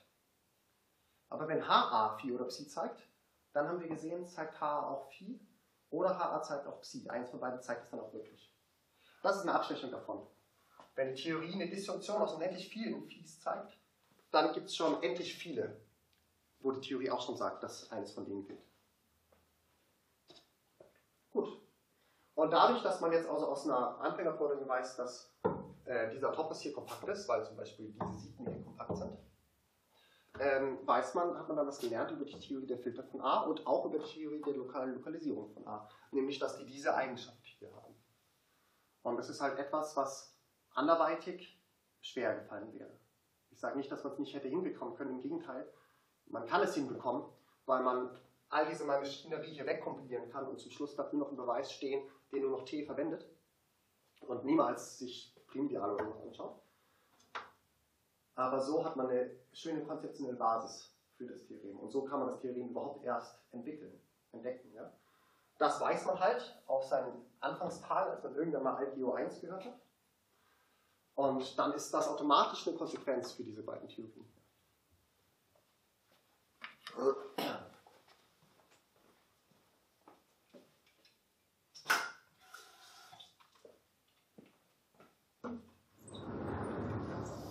Ich will euch ein zweites Beispiel zeigen. Eines, was überhaupt nichts mit algebraischer Geometrie zu tun hat. Ja.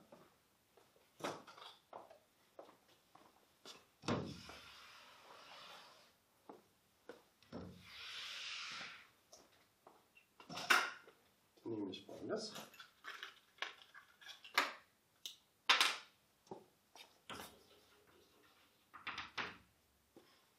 Ähm, so, es gibt die Kategorie der MV-Algebra. Wird gleich erklärt. Äh, darüber kann man dann den Gabentopos betrachten und der wird äquivalent sein zu einem anderen. Ich spare mir die, Notations, die Notation für die Topper, nämlich ähm, Kategorie der, jetzt muss ich das richtig hinkriegen, der Abelschen Gruppen mit einer Strong Unit, mit einer starken Einheit.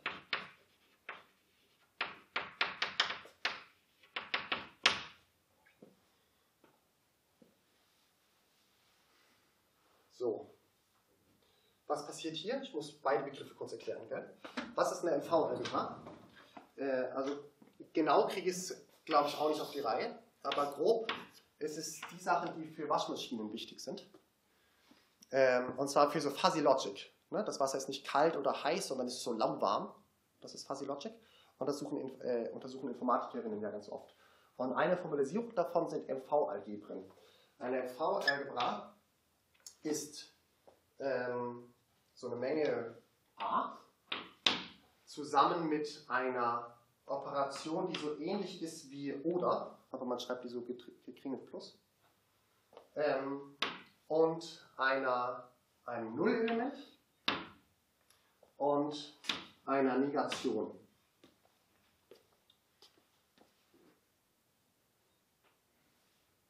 Und ähm, ein Beispiel, ein langweiliges Beispiel wäre, man nimmt die Menge 0,1 für a. Für dieses komische Plus nimmt man Maximum. 0 nimmt man 0 und negieren nimmt man genau das andere nehmen.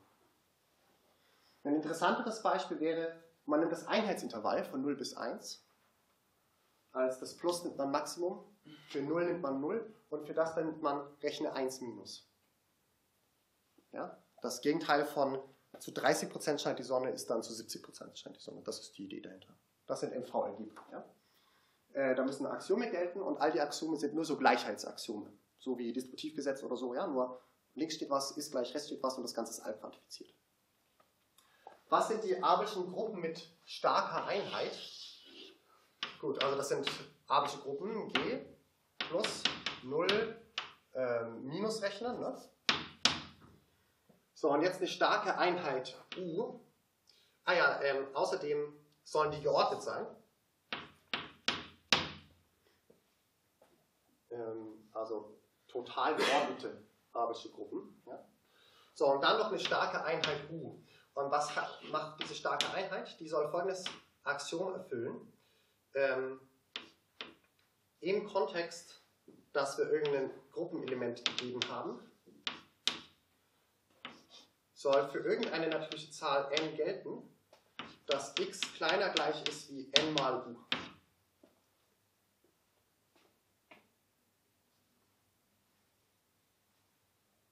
Beispiel wäre die Menge aller reellen Zahlen mit ihrer Standardaddition, Standard-Nullelement, Standardnegation, Standardordnung und als u nimmt man die Zahl 1.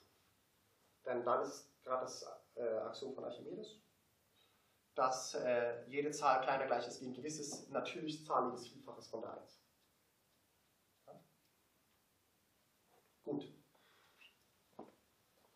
Ja, so, zwei ganz unterschiedlich aussehende Theorien, auch von der logischen Art her unterschiedlich aussehen, weil hier in den Axiomen brauchen wir so eine unendliche Disjunktion. Das haben wir hier nicht, das sind nur lauter Gleichheiten. Aber trotzdem, die beiden Theorien sind Morita-äquivalent.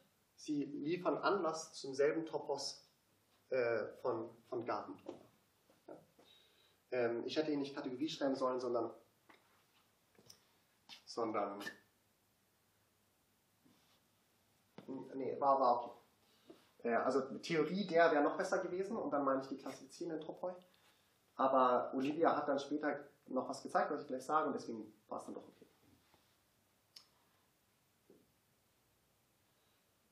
Was sind Konsequenzen davon?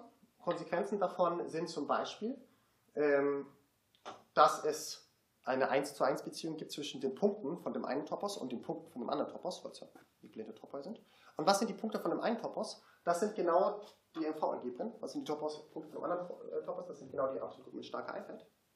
Das heißt, es gibt eine Kategorienfluenz zwischen eben der einen Kategorie und der anderen. Das war auch schon früher bekannt. Und Olivia hat sich dann gedacht, hm, vielleicht steckt ja hinter dieser Kategorienfluenz noch mehr und hat versucht, eben die auf Topos-Niveau zu liften. Hat sie zusammen mit einer Co-Autorin gemacht, deren Name mir leider wieder entfallen ist. Ähm, aber das hat halt jetzt noch mehr Konsequenzen. Zum Beispiel, ähm, dass es auch eine 1 zu 1 Beziehung gibt zwischen, wenn ihr irgendeinen Topos E habt, dann gibt es eine 1 zu 1 Beziehung zwischen dem geometrischen Morphismus von E in den einen Topos und von E in den anderen Topos, wie wieder, weil die Topos äquivalent sind.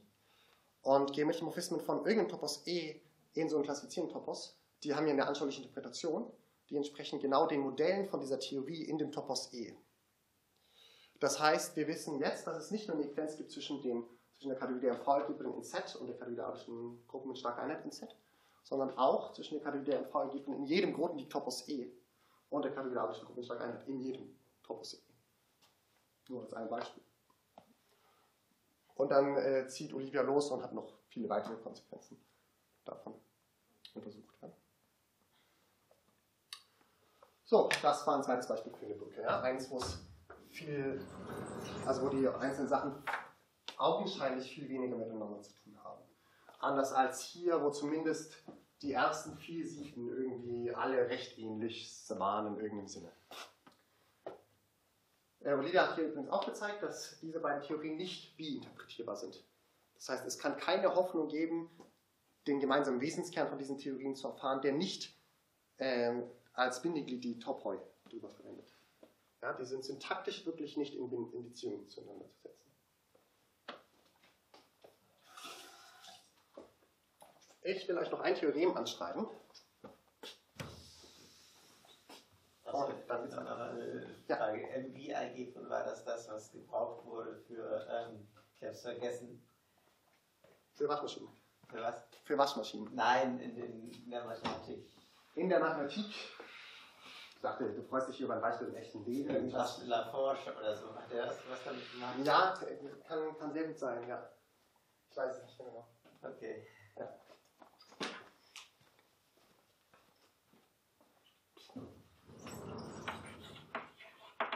Ich will euch noch eine Definition geben und dann ein Theorem dazu. Definition. Eine geometrische Theorie T ist genau dann von Prägabentyp.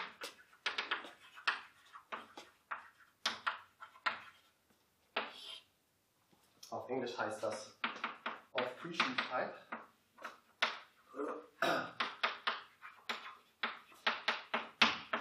falls folgende beiden Toppositionen äquivalent sind.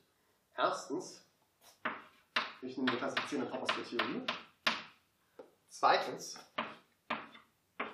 ich nehme den Topos der Prägaben. Das heißt einfach Funktoren von der Kategorie, die ich jetzt hinschreibe, hoch ob nach Set. Also triviale Bedeckung, ja. Und jetzt was denn? Ich nehme hier die Modelle. Und zwar die Modelle von der Theorie T. Und zwar die Modelle in Set. Und jetzt nehme ich nicht alle Modelle, sondern nur die endlich präsentierten FP. Und dann brauche ich noch eine Mob.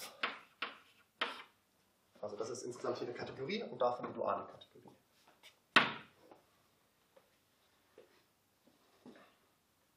Also wir haben schon definiert, was ein Modell von der Theorie T in Set ist.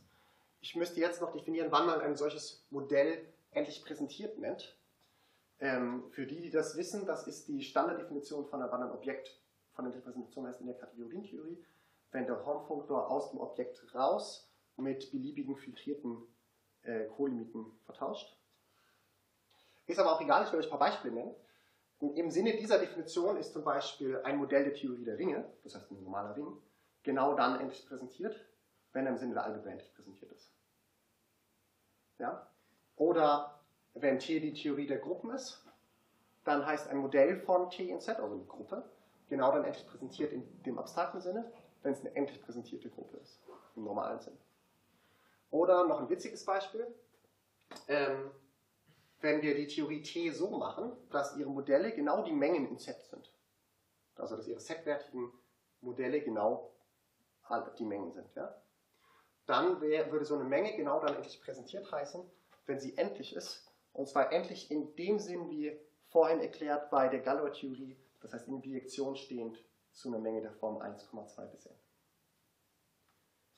Gut. So, also das ist eine Definition. Das ist keine syntaktische Definition, sondern eine semantische. Ja, weil hier nur noch der fertige Topos eingeht.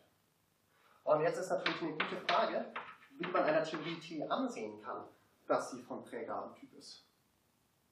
Und dafür gibt es diverse Kriterien. Und eines, was man sehr häufig verwenden kann, will ich euch anschreiben.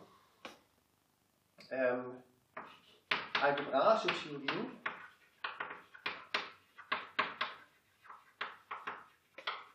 sind von Prägabentyp.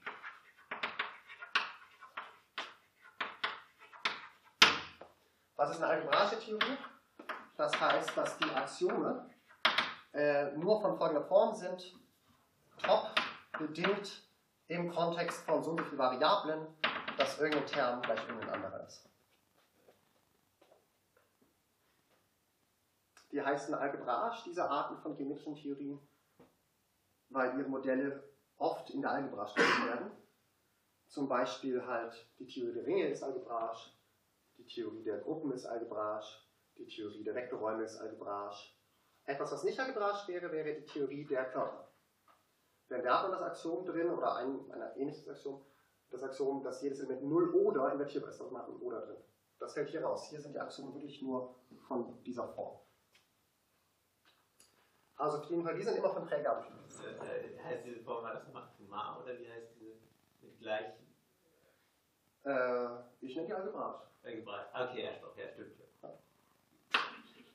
Und ähm, das ist ganz gut, dass wir das jetzt haben, weil das schließt eine Lücke, die wir, wenn man, also genau noch hatten in der Vorlesung. Nämlich, wir haben noch den generischen Ring diskutiert. Und auch den generischen lokalen Ring und hatten da Konsequenzen und bla, das gibt tolle OBDAs. Ähm, die Frage ist nur, woher wussten wir, dass das, was ich euch als generischen Ring verkauft habe, wirklich der generische Ring war? Das folgt nur durch dieses Theorem. Äh, ähm, also der klassifizierende Topos der Theorie der Ringe ist genau der Prägabentopos über der Kategorie der endlich präsentierten Ringe. Also insgesamt sind die Objekte da drin, das sind der Faktoren, insgesamt sind die Co-Variant von endlich präsentierten Ringen nach Set. Weil sich die beiden Kontrast schützen. Gut, und äh, das ist gut zu wissen, ja, weil es gab eine Übungsaufgabe, wo wir dann hier damit umgetan haben, um Eigenschaften vom generischen Ring herauszufinden. Aber nur dank dieses Beispiels, was eben von dem Theorem herkommt, wissen wir, dass dieser Topos eine interessante Bedeutung hat. Das ist nämlich genau der klassifizierende Topos von der Theorie der Ringe. So. Äh, wenn man eine Quotiententheorie hat, ähm, dann wird die oftmals nicht wieder von dieser Form sein. Zum Beispiel, wenn wir das Axiom dazu nehmen, dass der Ring lokal ist, dann haben wir wieder ein Oder. Aber dann wird es halt eine Quotiententheorie sein, außer dem Untertopos davon. Und im Kapitel 3 hätten wir gesehen, dass Untertope einfach dadurch entstehen, dass man, die, äh, dass man den Situs verfeinert, dass jetzt mehr Familien als überdeckend gelten. Und welche man dazu, dazu nehmen muss, das kann man einfach ablesen aus den neuen Axiomen, die man dazu getan hat. So dass das immer noch sehr konkret ist, was dann der entstehende klassifizierende Topos ist. Also das ist ein gutes, gutes Theorem hier, weil man, dann, weil man dann eine konkrete Beschreibung von klassifizierenden Topos hat. Ende von Abschnitt 4. Ich wische mal die Tafel. Wenn ihr Fragen habt, stellt sie bitte. Und sonst geht's weiter.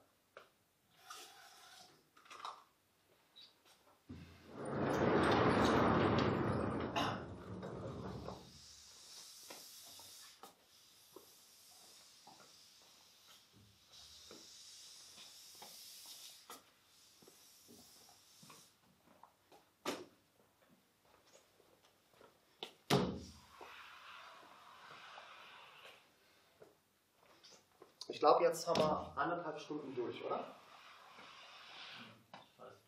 Genau. Dann wählt mal aus, was ihr davon jetzt hören wollt. Und danach spreche ich einfach noch so in die Kamera. Äh, und niemand muss hier sein. Fünf, sechs oder sieben? Was interessiert euch? Alle gut. Ja, dann musst du jetzt eins nehmen.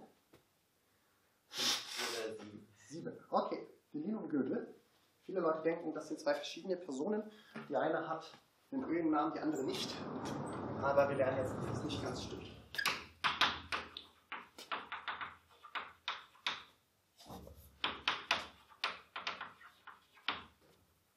So. Ähm, okay. Im Schnelldurchgang, was brauchen wir dafür? Definition. Eine Örtlichkeit x hat genügend viele Punkte,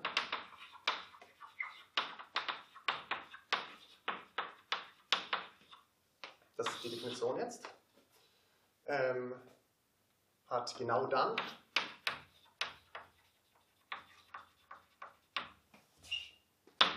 falls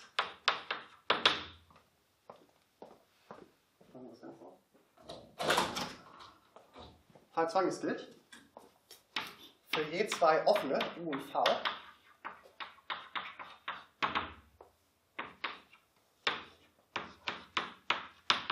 aus dem und dem soll schon folgen, dass U gleich V ist. Und bei genügend vielen Punkten halt sollte eben ausdrücken, dass schon Punkte genügen, um festzustellen, ob zwei offene gleich sind.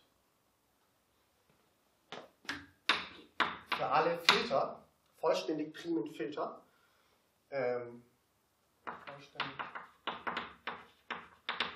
primen Filter von Visitus. Das waren ja genau die Punkte bis auf kanonische Bijektion. Und jetzt schreibe ich hin, dass der Punkt F in U liegt, äquivalent dazu, dass der Punkt F in V liegt. Das sieht mir ein bisschen komisch aus, weil das ist jetzt genau andersrum formuliert. Ich hätte erwartet, dass ich Groß F nach links schreibe, ne, weil ich es ausnehme, dass der Punkt im Offenen liegt. Aber ihr wisst, das war halt, das hatte halt so einen kleinen Twist drin. Ein Punkt von der Örtlichkeit ist eine Ansammlung von ganz vielen Offenen, anschaulich von denjenigen Offenen, die den Punkt umfassen. Aber das war nur eine Anschauung. Die Definition ist, eine Ansammlung von Offenen und da muss ich das schreiben. Also was hier in eckigen Klammern steht, ist die Aussage, dass U und V in genau denselben Punkten liegen. Und wenn man jetzt folgern kann, dass U gleich V ist, dann, wenn man das immer folgern kann, dann heißt die Örtlichkeit, dass sie genügend viele Punkte hat. Und ähm, Beispiel wäre ähm, L von x für einen topologischen Raum x. Solche Örtlichkeiten haben immer genügend viele Punkte. Was nicht überrascht ist, denn was sind offene von L von x? Naja, das sind offene Teilmengen und zwei Teilmengen sind genau dann gleich, wenn sie dieselben Elemente haben. So kommt das raus. Gut, und dann lasst mich noch eine Proposition hinschreiben. Folgende Aussagen über eine Örtlichkeit x sind äquivalent. Erstens, x hat viele Punkte.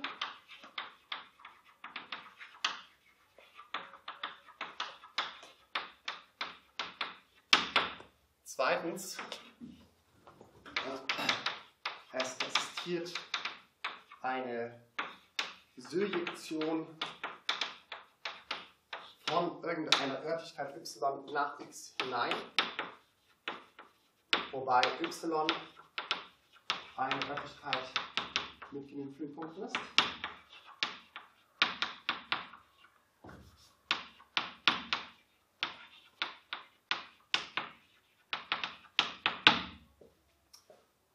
Und mich noch eine dritte Sache dazu schreiben. Ähm,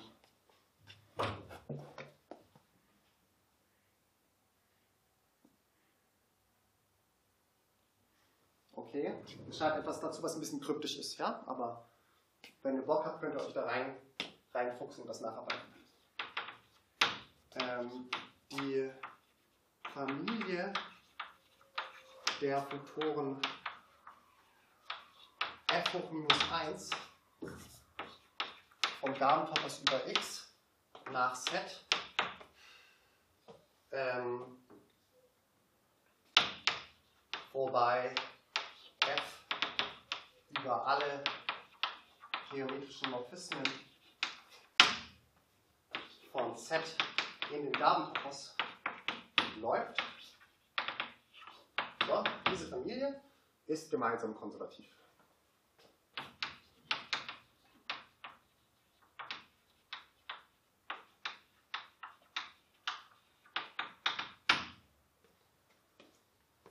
Okay, ganz kurz zur Begriffsbildung, Begriffsklärung.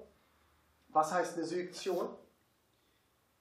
Ähm, das soll ja hier ein Örtlichkeitsmorphismus sein. Ein Örtlichkeitsmorphismus ist ja aber gar keine Abbildung. Deswegen können wir Surjektion eigentlich gar nicht sagen. Das bedeutet aber auch, dass der Begriff Surjektion wieder frei ist und neu belegt werden kann für eine andere Definition. Und zwar ist die Definition die, ein Morphismus von Örtlichkeiten heißt genau dann surjektiv, wenn der zugrunde liegende Morphismus von Rahmen, der ja in die andere Richtung geht, wenn der injektiv ist. Gut. Das drückt dann aber genau die Intuition aus, die man an einen surjektiven, stetigen Morphismus stellt, zum Beispiel. Und das sagt eben aus, eine Örtlichkeit hat schon dann genügend viele Punkte, wenn sie überlagert werden kann, überdeckt werden kann von einer Örtlichkeit, die ihrerseits genügend viele Punkte hat. Und dann ganz kurz die dritte Sache.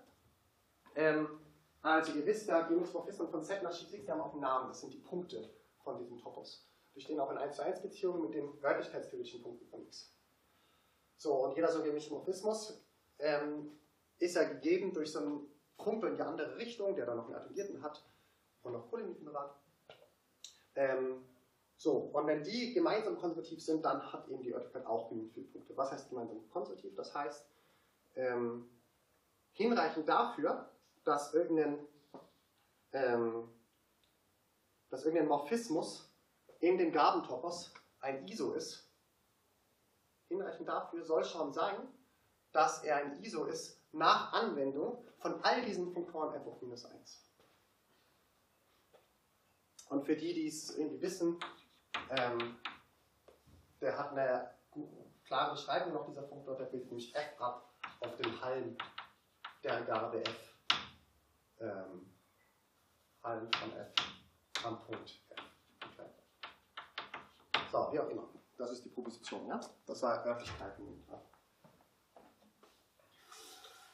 Jetzt ist die Frage, gibt es ein gutes Kriterium dafür, wann eine Örtlichkeit genügend viele Punkte? Und das gibt es. Das ist das Theorem von Delin. Und äh, das wir auch gleich für äh, Topoi probieren, statt für Örtlichkeiten.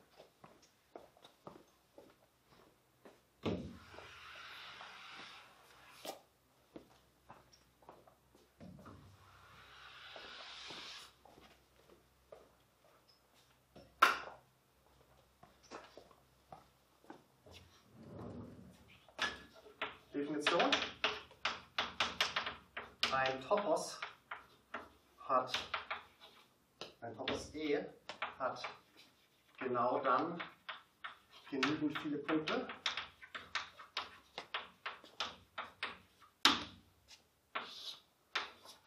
Falls, und jetzt schreiben wir einfach die, ähm, die Sache bei drittens von eben ab.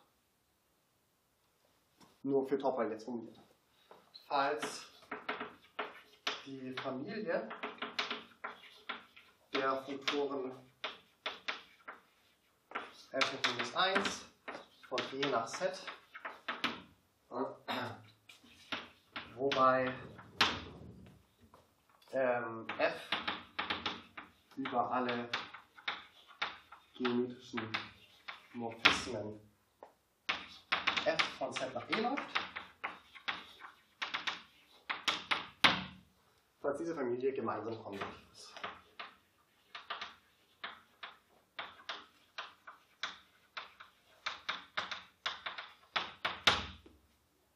Ich will euch erklären, was so das besonders Geile daran ist, wenn ein Topos genug viele Punkte hat.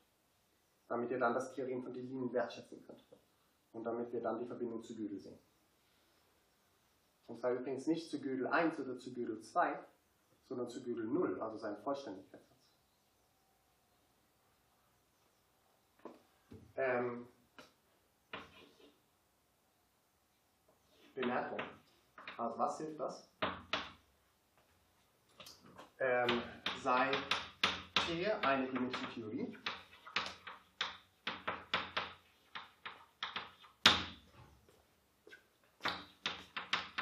Sei Phi bedingt Psi eine geometrische Sequenz über T.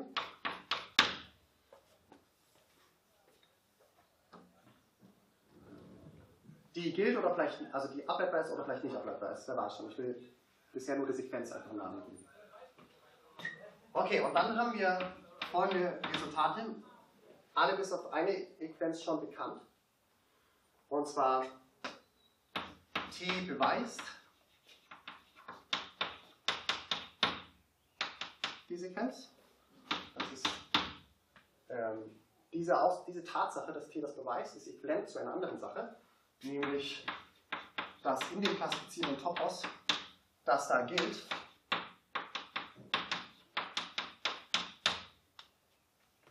Das folgt aus dem Omnibus-Theorem ne, für äh, klassifizierende Topoi.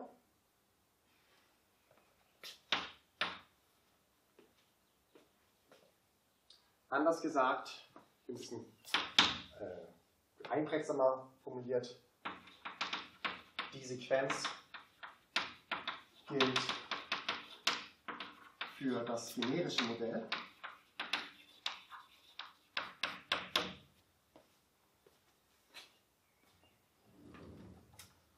Gut. Jetzt noch eine Umformulierung, nämlich die Sequenz gilt für alle Modelle in allen großen Decompoi.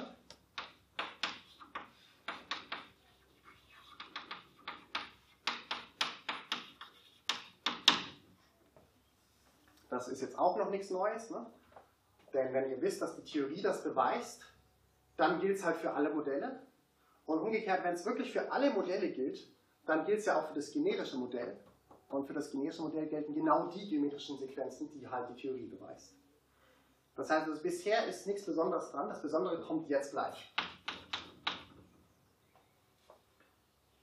Und dieses Besondere, das wird nur dann funktionieren, wenn ähm, der Gabentopos, der klassifizierende Topos, wenn der genügend viele Punkte hat.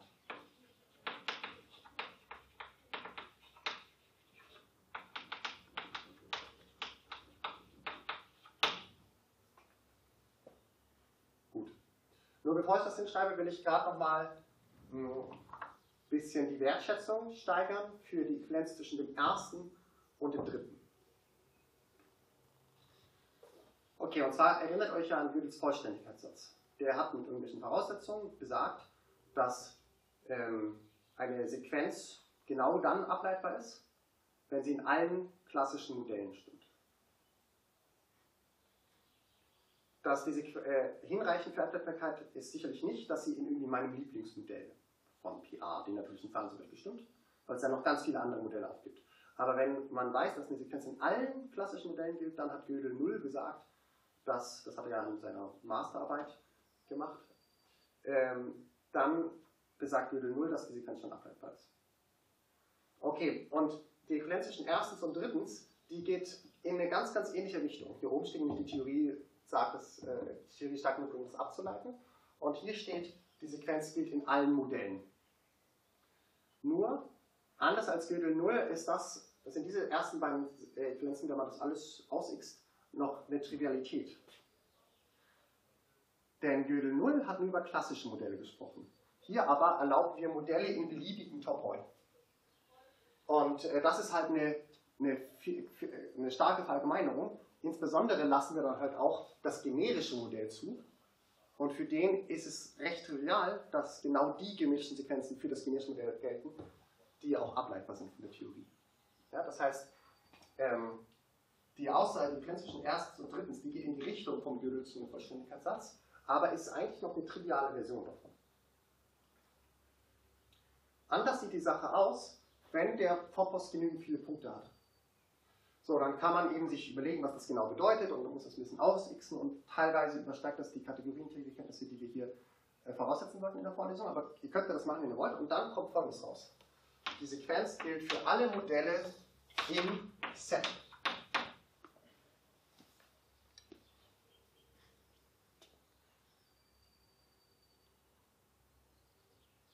So, und das ist jetzt eine nicht triviale Aussage, dass schon die Modelle in Set genügen, um zu detektieren, ob die Sequenz ableitbar ist. Das ist jetzt genauso eine Aussage im Stile von Gödel 0, ja, semantische Vollständigkeit. Nur weil es in allen Modellen in Set gilt, heißt automatisch dann schon, dass es von der Theorie ableitbar ist. Nochmal ja. Gödel 0, für welche Theorien hat Gödel das dann nochmal gezeigt? Wir hatten das gezeigt für ähm, ähm, Theorien über eine abzählbaren Signatur. Okay. Ähm, und genau, das ist auch einer der Hauptunterschiede zu dem, was wir gemacht haben. Die, die, ich habe auch noch nicht die Linien angeschrieben, ne? aber ähm, weil hier haben wir ja immer so geometrische Theorien, die insbesondere ganz große Vereinigungen unterstützen. Das haben wir damals nicht erlaubt. Ähm, erlaubt waren nur binäre Oders und binäre Uns. Mhm. Der, der Gödel 0 gilt schon allgemeiner. Ähm, du kannst auch Wikipedia zum Beispiel nachlesen, die ja allgemeiner noch gilt. Man kann zum Beispiel die Voraussetzung, dass die Signatur abzählbar ist, abschwächen zu die Signatur ist wohlgeordnet. Mhm. Weil wenn du dich an den Beweis erinnerst, da musst du also Schritt für Schritt was machen. Und das ging halt gut, was abzählbar war. Dann haben wir gesagt, okay, hat es halt für die Nullte, dann die erste, dann die zweite Sache. Aber bei einer Wohnordnung geht das genauso gut.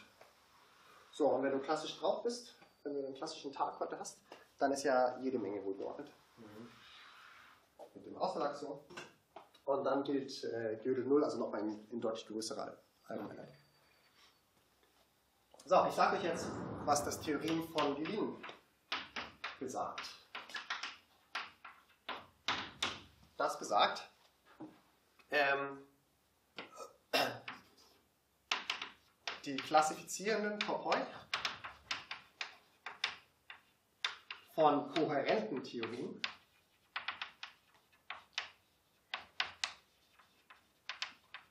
haben genügend viele Punkte.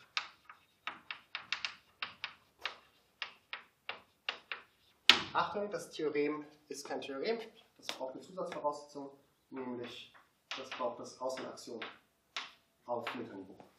Ja? Was ist eine kohärente Theorie? Das ist ein anderer Spezialfall von, algebraische, äh, von gemischter Theorie, so wie algebraische Theorie vorhin im Spezialfall war, nämlich äh, folgender. Es darf eine ganz normale gemischte Theorie sein, mit einer Einschränkung. Keine, keine großen Oders. Keine unendlichen Disjunktionen, nur endliche erlaubt. Ja? Also endliche Disjunktion okay, aber unendliche nicht.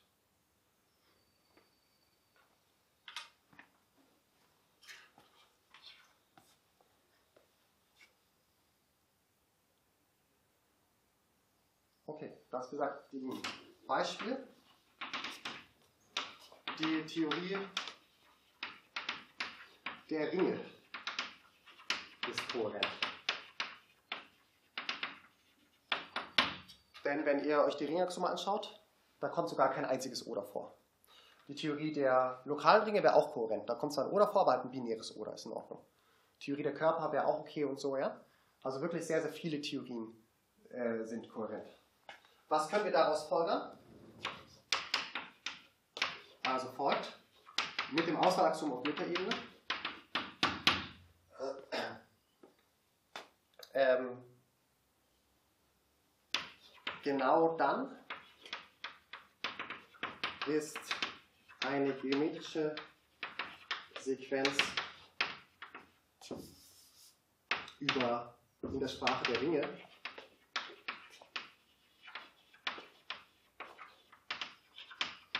ableitbar. Wenn sie für alle Ringe in Z stimmt.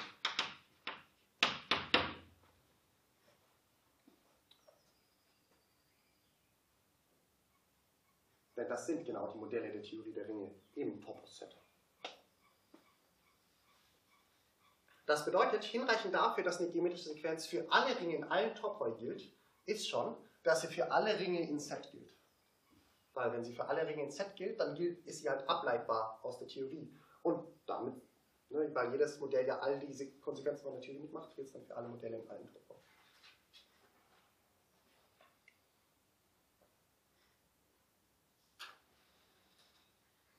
So, und ähm, ich glaube, jetzt habt ihr eingesehen, inwieweit Delins Satz hier derselbe Satz ist wie der Satz wie Gödel 0. Beide sagen, hinreichend dafür, dass irgendwas ableitbar ist, ist, dass es in allen mengenwertigen Modellen gilt. Äh, die Unterschiede zwischen beiden Theorien liegen nur in den Details, nämlich für welche Art von Theorien, ähm, äh, auf welche Arten von Theorien die sich beziehen. Hier sind es halt geometrische Theorien, ähm, solange keine zu großen Oders vorkommen. Und, ähm, äh, und, und bei Gödel 0 waren, da hatten wir halt noch gar nicht diese Begriffsbildung mit geometrischen Theorien und so weiter. Da war es ein bisschen, da war es noch dieses klassische Logikbild. Ja? Aber an, ansonsten sind die, sind die genau gleich. Ähm, ich habe mir leider wieder den Namen nicht aufgeschrieben, aber es gibt ein Paper und ich empfehle euch sehr, das euch anzuschauen. Das Paper heißt Benjamin Ford, glaube ich, von dem schreibt das. Ähm, die Linz äh, Theorem and Gödel's Completeness Theory.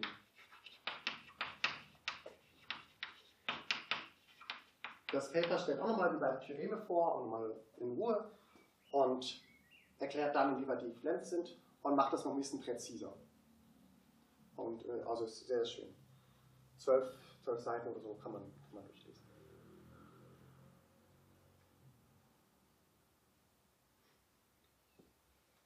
Äh, der Deligne-Satz wird routinemäßig in der algebraischen Geometrie eingesetzt. Da baut man sich halt viele Topoi, ähm, um irgendwelche Homologietheorien zu entwickeln. Und dann ist das Erste, was man immer macht, ist herauszufinden, dass äh, die Voraussetzung erfüllt ist, um dann eben zu wissen, Außerlaxum ist kein Problem für die meisten algebraischen Geometerinnen, dass der Topos genügend viele Punkte hat. Und fortan kann man dann eben ISOs hallenweise testen, eben auf den Punkten. Ähm, das Theorem ist sogar dann gut, wenn man nicht genau weiß, wie die Punkte eigentlich aussehen, welche es da gibt, wenn man davon eine grobe Vorstellung hat, weil es immer noch besser ist, irgendwie was punktemäßig zu testen, als, als direkt filigan. Gibt es in einer leicht anderen Variante, so dass man das Theorem auch dann anwenden kann, wenn man noch gar nicht weiß, welche, Klassifizier, welche Theorie der vorliegende Topos klassifiziert. Der, der Satz hier heißt dann auch so, kohärente Topoi haben genügend viele Punkte. Okay. Jetzt, wo ihr das Theorem wertzuschätzen habt, will ich es noch ein bisschen runter machen wieder. Nämlich, ich will noch kurz ein bisschen abschwächen, wie toll dieser Satz hier ist. Also, wenn man, ans Auswahl, wenn man das Auswahlaktion akzeptiert in der Metasprache, und nur dann gibt es ja das Theorem hier, ja, dann ist diese Äquivalenz hier eine sehr, sehr schöne Äquivalenz weil man einfach für Ringe in Z viel mehr Möglichkeiten hat, als für Ringe in irgendwelchen Topoi. Denn in Z gilt ja dann nach, das Auswahlaktion, nach Metavoraussetzung, aber in irgendwelchen Topoi, in deren internen Sprache, gilt es halt weiterhin nicht. Das ist dann weiterhin ein großer Zufall. Allein schon, dass die interne Sprache von irgendeinem Topos Boolish ist, ist ein großer Zufall. Also wenn man das Auswahlaktion in der Metasprache akzeptiert, dann ist das ein sehr, sehr schöner und, und wichtiger Satz, weil man einfach für Ringe in Z mehr zu führen hat, als für Ringe in anderen Topoi. Wenn man aber das Außerlagsum der Metasprache nicht akzeptiert, dann ist diese Äquivalenz, auch wenn sie, also ob sie, egal ob sie gilt oder nicht gilt, die ist auf jeden Fall dann gar nicht so toll. Denn wenn man konstruktive Metalogik verwendet, dann gibt es gar nicht so einen großen Unterschied zwischen Ringen in Set und Ringen in beliebigen Topoi. Weil für einen Ring in beliebigen Topos, da kann ich ja die interne Sprache von dem Topos verwenden, dann kommt er mir wieder vor wie ein Ring, der aus Elementen besteht. So. Und wenn ich sowieso nicht das Auswahlaxiom und klassische Logik verwenden darf, weil ich mir das verbiete in der Metalogik, dann gibt es keinen großen Unterschied mehr für Ringe, echte Ringe in Set und Ringe in anderen Topoi, wo ich nur so tue, als ob sie aus Elementen bestehen, weil ich die interne Sprache verwende. Ja, das heißt, dann ist das Theorem ein bisschen weniger Anwendung. Gut, das war die Linie gleich Gödel. Habt ihr dazu Fragen?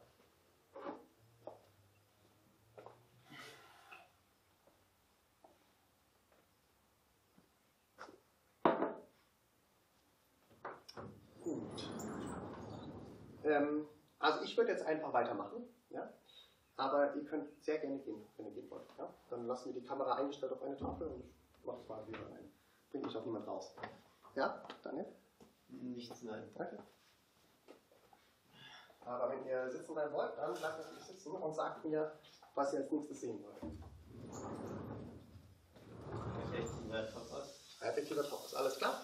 Das geht auch ganz schnell, das sind nur ein paar Stichpunkte die ich verraten will, weil wir, ohne das ganz explizit gesagt zu haben, eigentlich schon ganz viel zum effektiven Topos gesehen haben.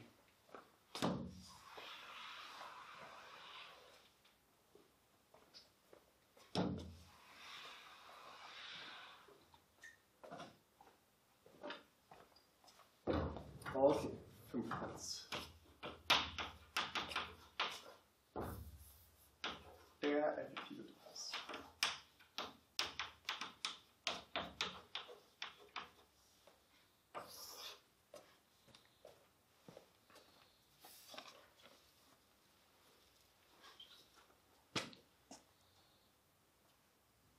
Okay. Also, nur so die, die drei, vier wichtigsten Dinge, die es über diesen Topos zu wissen gibt. Erstens, also dieser Topos heißt f, wir haben eine kleine Sprache wie jeden Topos, wie jeder Topos. Und man kann sich fragen, was die dann eigentlich bedeutet.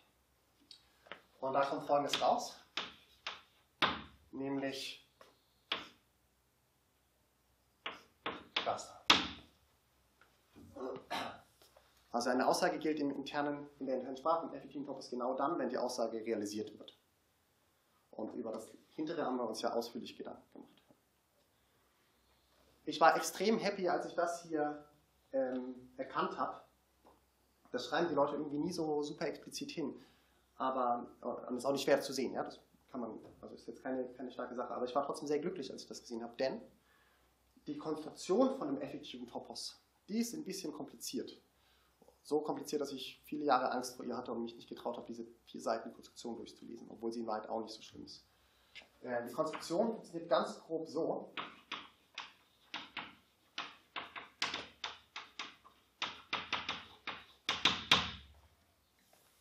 Um das noch fertig zu machen, also die Konstruktion ist zwar kompliziert und die versteht man vielleicht nicht auf Anhieb, aber die interne Sprache, die kann man trotzdem sehr gut verstehen, weil die ist eine Realisierbarkeitstheorie. Die Konstruktion von F sieht so aus, starte mit der Kategorie der Assemblies, die eine sehr konkrete informatische Bedeutung auch hatte. Das ist die Kategorie der Datentypen, mehr oder weniger. So, und jetzt vervollständige die zum Topos.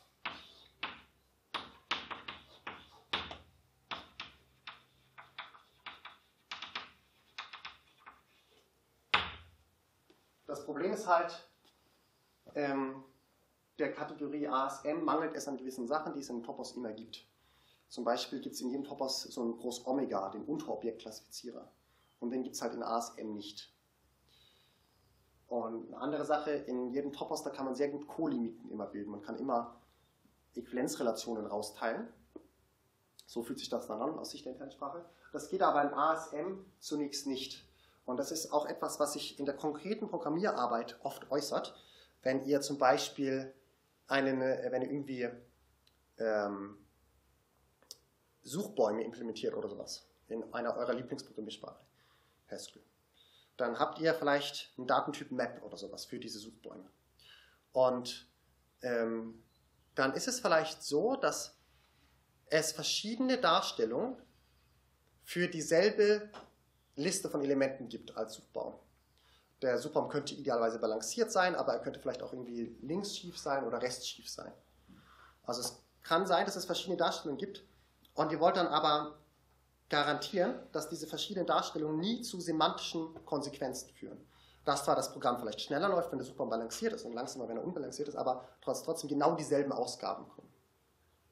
Ihr wollt also sicherstellen, dass jemand, der euren Datentyp verwendet, dass der nicht irgendwie reinschauen kann, in wie konkret die Daten dann angeordnet sind in dem Baum, sondern dass er, dass er immer diese Invariante respektiert, dass das eventuell nicht balanciert ist. Wie geht das in normalen Programmiersprachen? Naja, zum einen hat man die Möglichkeit der Abstraktion, dass man einfach einen Datentyp selbst nicht exportiert, sondern nur Methoden, die auf ihn zugreifen. Dann ist alles gut. Aber was machen die Programmierer von dem Modul selbst? Die haben nicht die Möglichkeit, Abstraktion zu fügen, weil sie müssen ja das programmieren. Und überhaupt erst die Zugangsmethoden programmieren.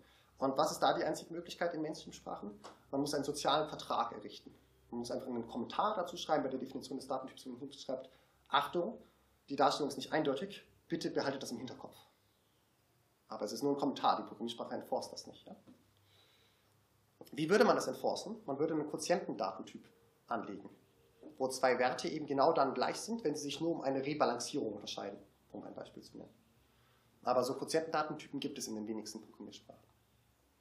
Und genauso gibt es auch wenig Quotientenobjekte in der Kategorie der Assemblies, in dem Topos aber schon.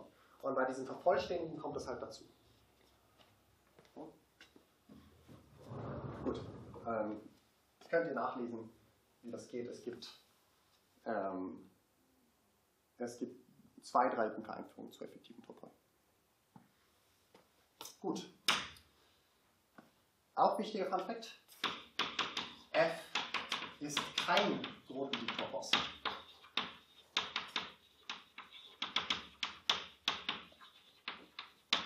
Also nicht von der Form Chiefs auf C für einen Sieg C. Und wir in unserer Vorlesung, das ist so ein bisschen peinlich, aber wir in unserer Vorlesung haben nie wirklich definiert, was ein Topos ist, nur was ein Grotendieck-Topos ist. Ja? Also ganz offiziell würde der völlig raustanzen aus dem Gerüst, das wir aufgezogen haben. Ja, aber tatsächlich eben der effektive Topos ist ähm, das Standardbeispiel für einen sehr interessanten Topos, der kein Gruppendeep-Topos ist. Was sind andere Beispiele für Topoi, die keine Gruppendeep-Topoi sind? Erstens, der effektive Topos hat noch Varianten. Zum Beispiel kann man auch Supertunnelmaschinen verwenden statt Tunnelmaschinen in seiner Konstruktion. Das Theorem von da oben gilt dann nach wie vor, nur dass man dann halt hier das Supertunnelmaschinenmodell findet. Und zweitens, man kann Topoi auch miteinander verkleben, so wie man Räume miteinander verkleben kann. Und jetzt kann ich zum Beispiel einen Grotendieck-Topos nehmen, ganz normalen Grotendieck-Topos, und den dann entlängs von irgendwas verkleben mit einem Topos, der kein Grotendieck-Topos ist. Dann kommt insgesamt ein größerer Topos raus. Und in den seltensten Fällen wird der insgesamt wieder ein Grotendieck-Topos sein.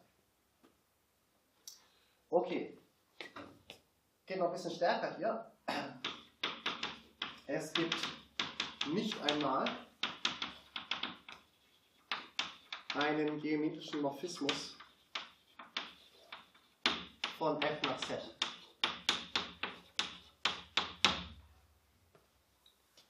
Für jeden Grotnik-Topos gibt es so einen Morphismus nach Z und zwar auch im Wesentlichen genau einen, bis auf Isomorphie. Aber so viel gibt es halt keinen. Gut. Und jetzt noch zwei, zwei sehr schöne Dinge. Und zwar kann man ja Untertopos bilden. In Kapitel 3 eben hätten wir das behandelt. Ähm, und zwar kann man, genauso wie man äh, unter, unter Örtlichkeiten, von Örtlichkeit bilden kann, wenn man einen Kern zur Verfügung hat, äh, kann man einen Untertopos bilden. Und man kann insbesondere als Kern, das heißt dann Lovia-Turney-Topologie, die Doppelnegation verwenden.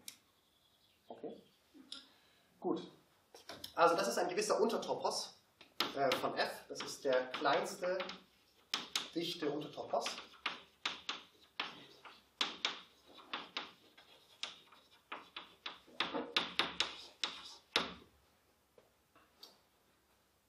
Ja? Ähm, in so einem kleinsten dichten Untertopos, da gilt immer klassische Logik.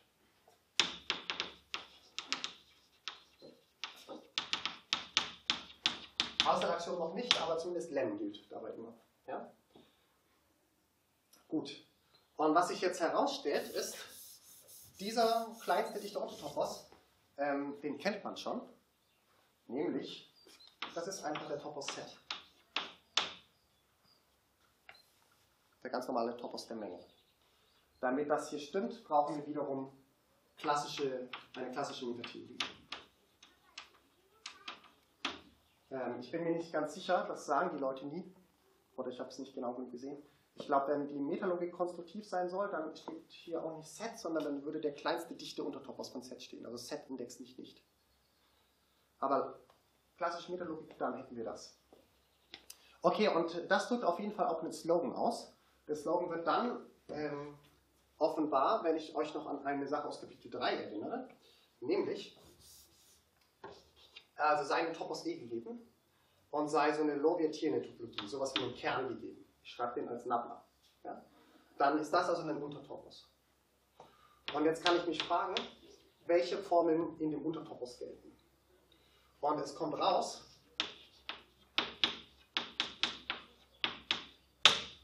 so eine Aussage Phi gilt in dem Untertopos genau dann, wenn Phi hoch Nabla, die Nabla-Übersetzung aus Kapitel 1, in dem Obertopos gilt.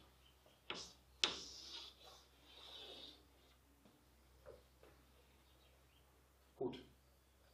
Kann man durch Induktion über den Aufbau von Phi beweisen. Wie so vieles in dem dritten Teil dieser Vorlesung.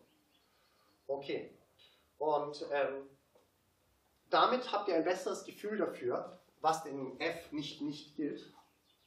Nämlich, das sind genau die Aussagen, die nicht nicht übersetzt in F gelten. Die nicht nicht übersetzt also realisiert werden. Und da hattet ihr ja schon früher gesehen, ähm, so, eine nicht, so eine doppelt negierte Aussage im Realisierbarkeitsmodell, die hat nicht mehr viel mit Turingmaschinen oder so zu tun, sondern die drückt eigentlich nur noch aus, dass die Aussage selbst wahr ist aber nicht mehr, dass es einen konkreten Zeugen, einen Realisierbarkeitszeugen für sie gibt. Okay, und diese Äquivalenz hier, die bringt das eben auf den Punkt und powert ihn nochmal ein bisschen hoch, sodass es nicht nur über Aussagen geht, sondern auch über Objekte davon. Die Moral quasi davon, die man hieraus extrahieren kann, ist, dass wenn man eigentlich effektiv arbeitet, also alles mit Turingmaschinen macht, aber dann wieder vor alles eine Nicht-Nicht setzt, dass es dann genauso gut ist, wie wenn man im Topos der Mengen geblieben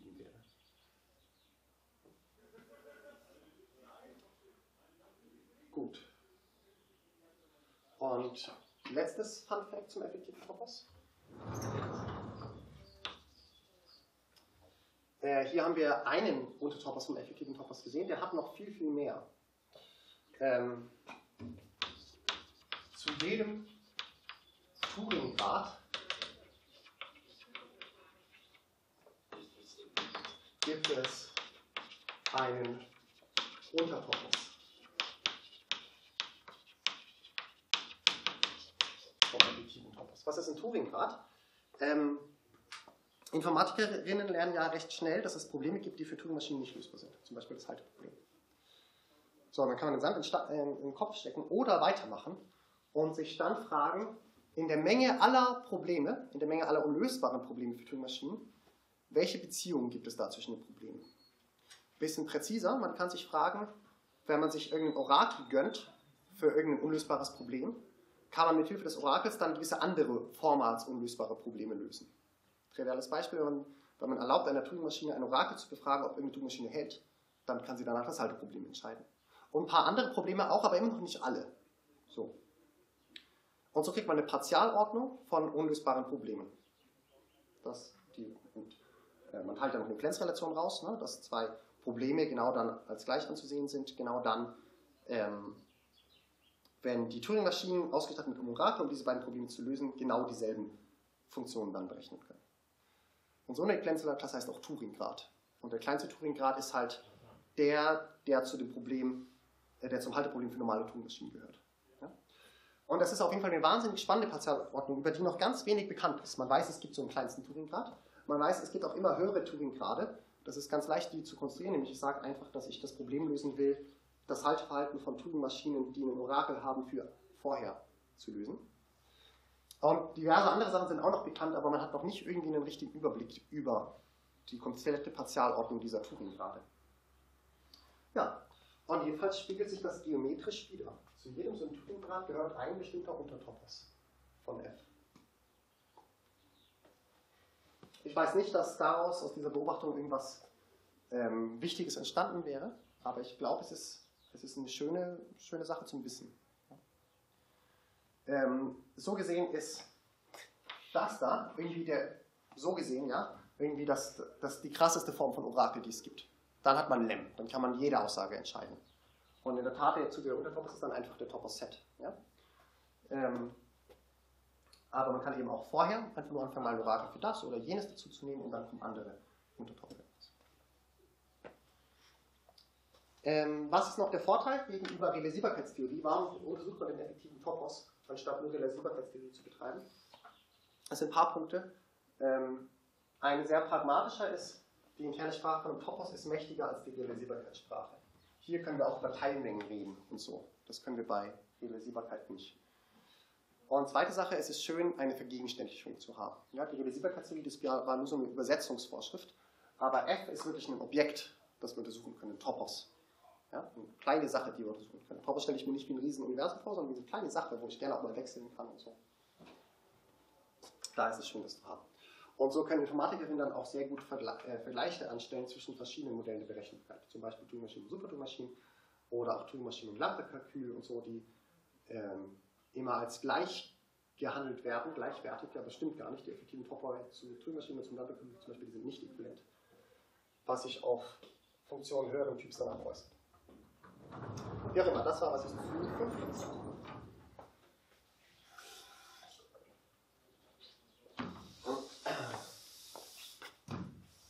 Jetzt dazu Fragen?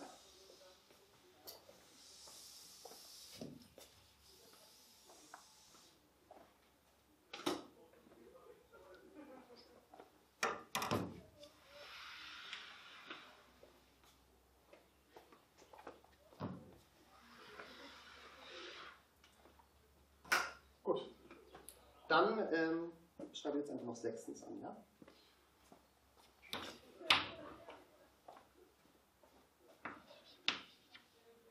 Unabhängigkeit der Kontinuumshypothese.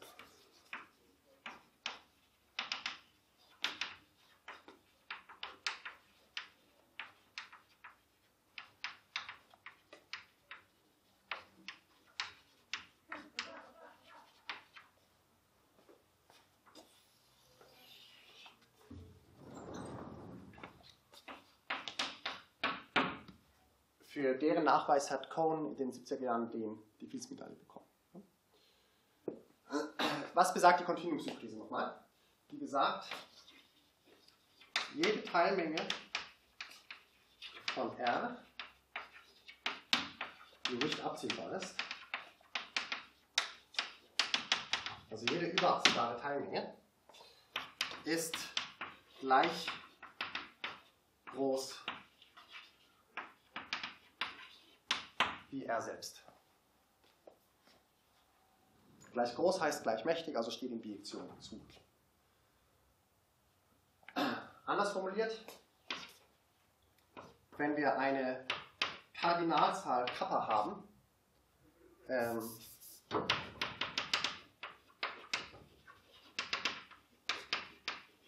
die zwischen der Größe von n und der Größe von r sitzt, dann muss die schon eine von den beiden sein.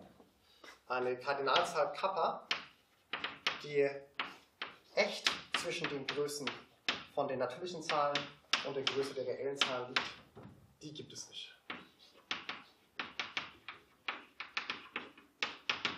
So, und das war halt noch bis zu den 30ern und eigentlich bis zu den 70er Jahren und manchmal auch noch heute eine große Streitfrage.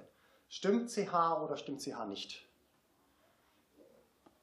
Und ähm, was war dann dazu zu sagen?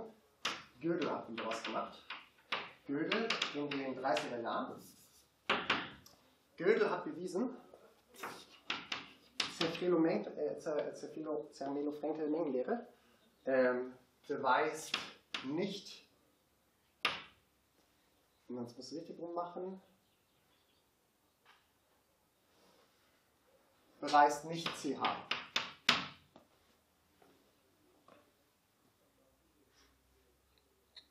Und wie hat er das gemacht?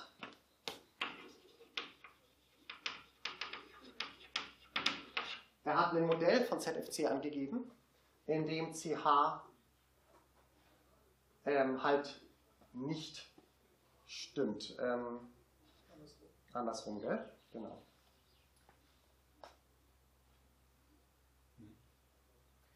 Ähm, ja, andersrum, genau. Also, tut mir leid, genau. Gödel hat bewiesen, dass ZFC nicht beweist, dass die Negation von CH gilt. Wie hat er das gemacht? Er hat ein Modell von Mengenlehre angegeben, in dem CH eben doch stimmt. Daher kann es nicht sein, dass ZFC beweist, dass CH falsch ist, weil dann wäre allen Modellen falsch. Aber in dem einen war es eben wahr. Und zwar ähm, hat, er, ähm, ähm, hat er folgendes Modell angegeben. In Gödels Modell, das heißt glaube ich oft L, ähm,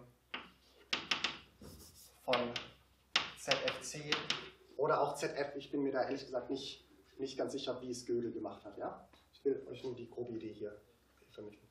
Gödels Modell L von ZFC ähm, gilt CH. Und äh, wie ist das Modell L entstanden? Das kann man recht konkret noch hinschreiben. Und zwar kennt ihr ja die kumulative Hierarchie. Äh, die fängt an, dass man eine Leermenge nimmt, dann bildet man die Potenzmenge, dann die Potenzmenge davon, Potenzmenge davon und so weiter.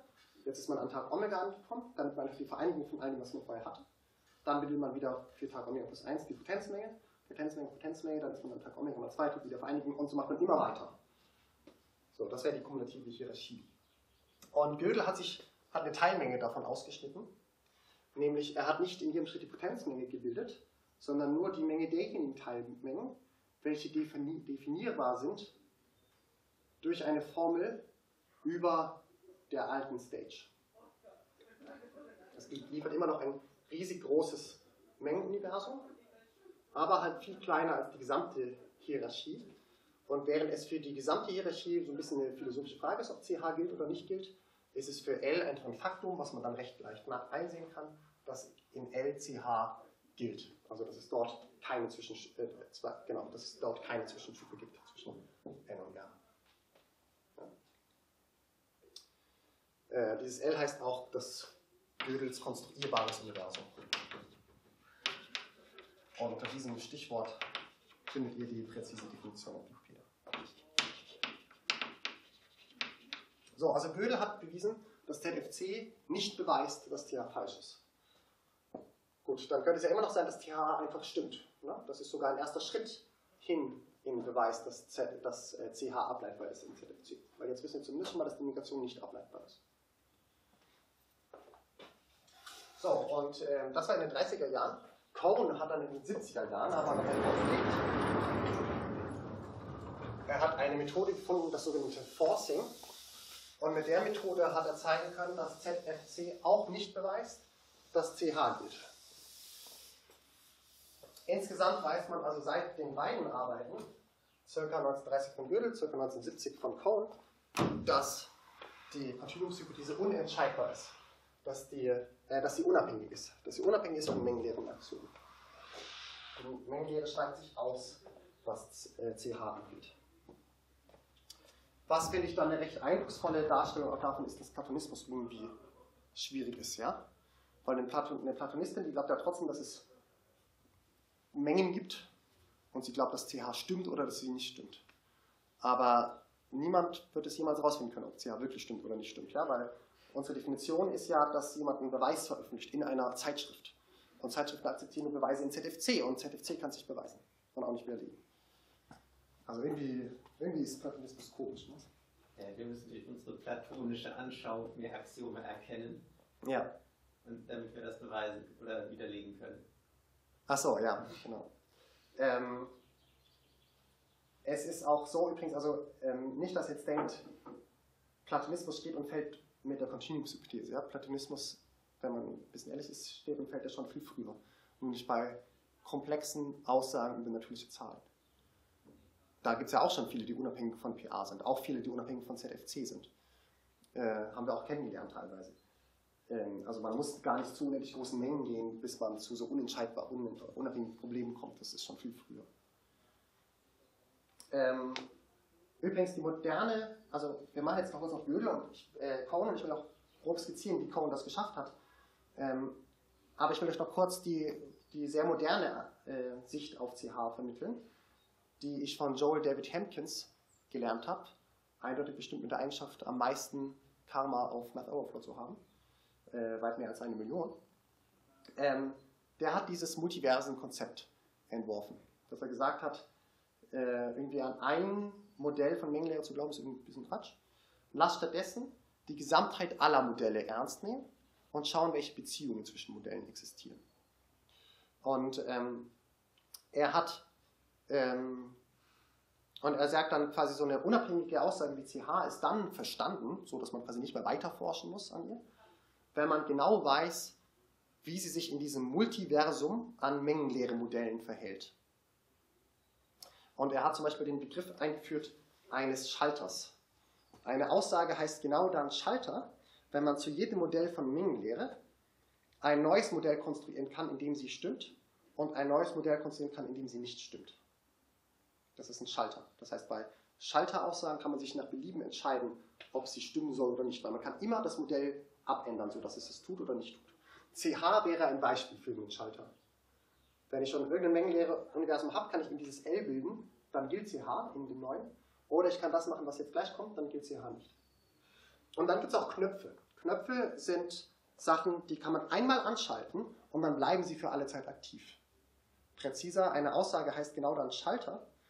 Ähm, wenn es zu jedem Modell von Mengenlehre ein neues Modell von Mengenlehre gibt, in dem die Aussage stimmt, und so dass in allen weiteren Modellen, die man aus dem ausgehend bilden könnte, die Aussage immer noch stimmt. Das sind also Aussagen, die zwar anschaltbar sind, aber sobald sie einmal an sind, nie wieder ausschaltbar sind. Gut, und dann sagt er, lasst erkunden, welche Aussagen in der Mengenlehre Schalter sind, welche Knöpfe sind und welche Beziehungen es da noch gibt und so. Das ist sehr, sehr interessant. Hat auch einen schönen Folgensatz dazu. Ich lade euch ein, wenn euch Mengenlehre interessiert, den anzuschauen. Sucht einfach nach Joel David Hampkins und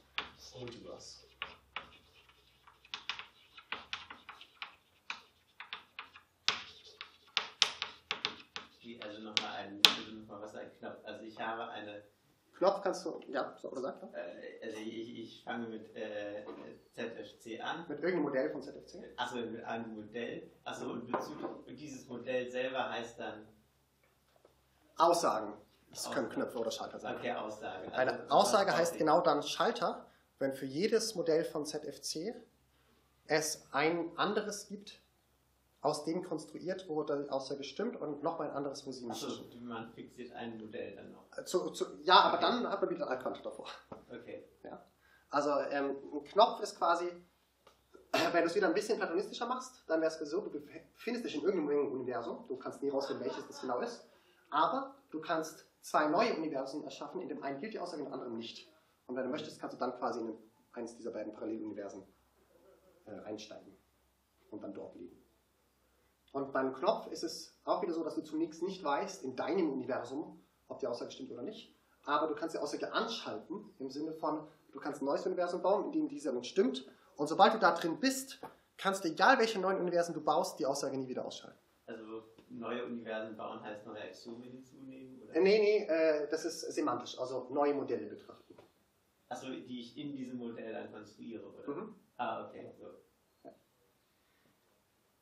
Wäre ein Beispiel für so einen Knopf. Ja, hat er natürlich gegeben, aber mir hat es nichts gesagt. Kann ich nicht wiedergeben. Das ist nicht irgendwas Leichtes, was man kennt. Naja, für eine gestandene Mengentheoretikerin, was extrem super banales, Alter, was fällt dem ein, so ein einfaches Beispiel in den Foliensatz, der getechtet ist, zu bringen. Aber für mich äh, nicht. Nein.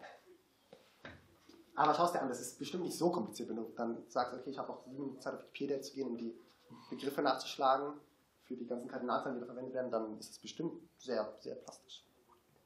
Okay, lasst uns sehen, was Cohen circa in den 1970ern gemacht hat.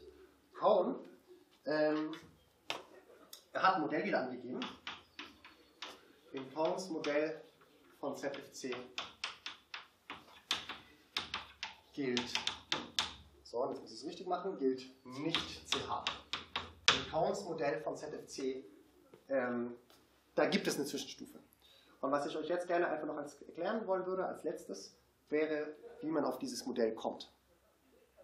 So wie ich das jetzt gleich erklären werde, ist es nicht so, wie Cohen das ursprünglich aufgeschrieben hatte. Damals gab es zwar schon Topoi, aber äh, die waren noch nicht so prominent und insbesondere, also Cohen hat sie nicht genutzt. Aber dann hat man recht bald eben gemerkt, dass man das Topos theoretisch interpretieren kann und äh, dass man dann so ein bisschen eine weit neue Sicht auf die Dinge bekommt. Eine, die ich persönlich als, als schön einfach erachte, aber wo man sich natürlich drüber streiten kann. Gut. Ähm, so, wie, wie können wir so ein Modell bauen?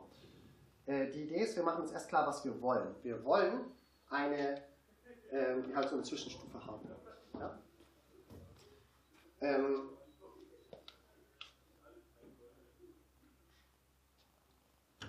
okay, und die Grundidee ist einfach die. So, nimm den klassifizierenden Topos der Theorie der, und jetzt lasst mich kurz überlegen, über wie viele Details wir hier skaten wollen oder nicht. Ja. Nimm den Topos der Theorie der Injektionen von P von R nach R.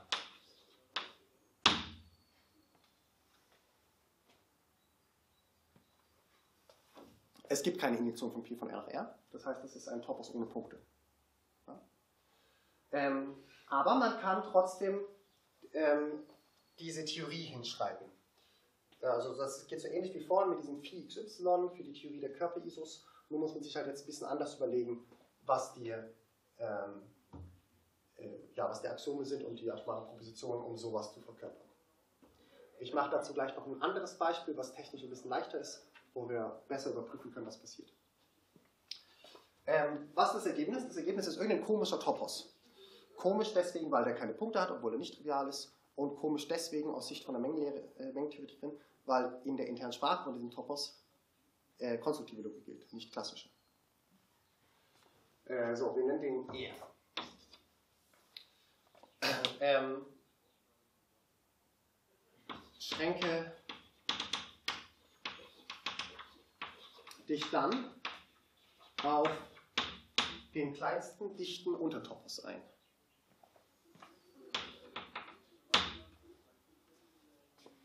Der ist jetzt schön, denn in, also das ist näher an dem Modell von Minglehre, weil in diesem Topos gilt zumindest klassische Logik.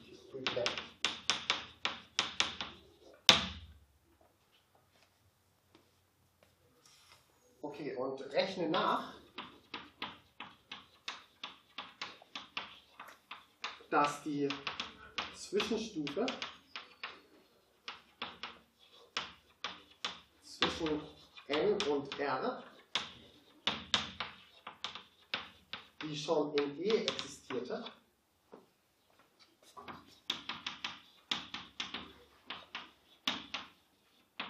weiterhin, also auch in E nicht, nicht weiterhin, eine echte Zwischenstufe ist.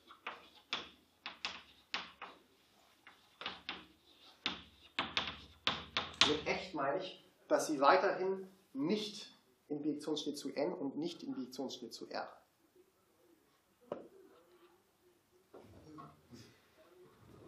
Dieser, äh, dieser Schritt, dass das immer noch eine echte Zwischenstufe ist, der ist nicht ganz so leicht. Ja? Der braucht dann schon eine Seite Argumentation. Und wo kam jetzt diese Zwischenstufe her? Die kam, ja, das, äh, das erkläre ich gleich nochmal besser einfach an einem anderen Beispiel. Ja? Okay. Die kam daher, dass wir hier die, diese, genau diesen klassifizierten Topos verwendet haben, in dem ein universelles Modell von dieser Theorie lebt. Und das ist dann eben genauso eine hier nach dort. Grob. Aber ich erkläre das gleich nicht. Diesen einen Teilaspekt, den kann ich gleich nochmal besser erklären. So, äh, jetzt haben wir also einen Boolschen Topos, in dem es so eine echte Zwischenstufe gibt. Ähm, das Einzige, was wir jetzt noch machen müssen, ist daraus irgendwie ein Modell von Mengenlehre basteln. Wir wollten ja eigentlich kein, kein Topos, ein Modell von Mengenlehre. Und das geht aber halt auch. Ja? Bastle aus diesem Modell von, äh, aus diesem Topos, also aus dem Topos E nicht, ein Modell von Mengenlehre.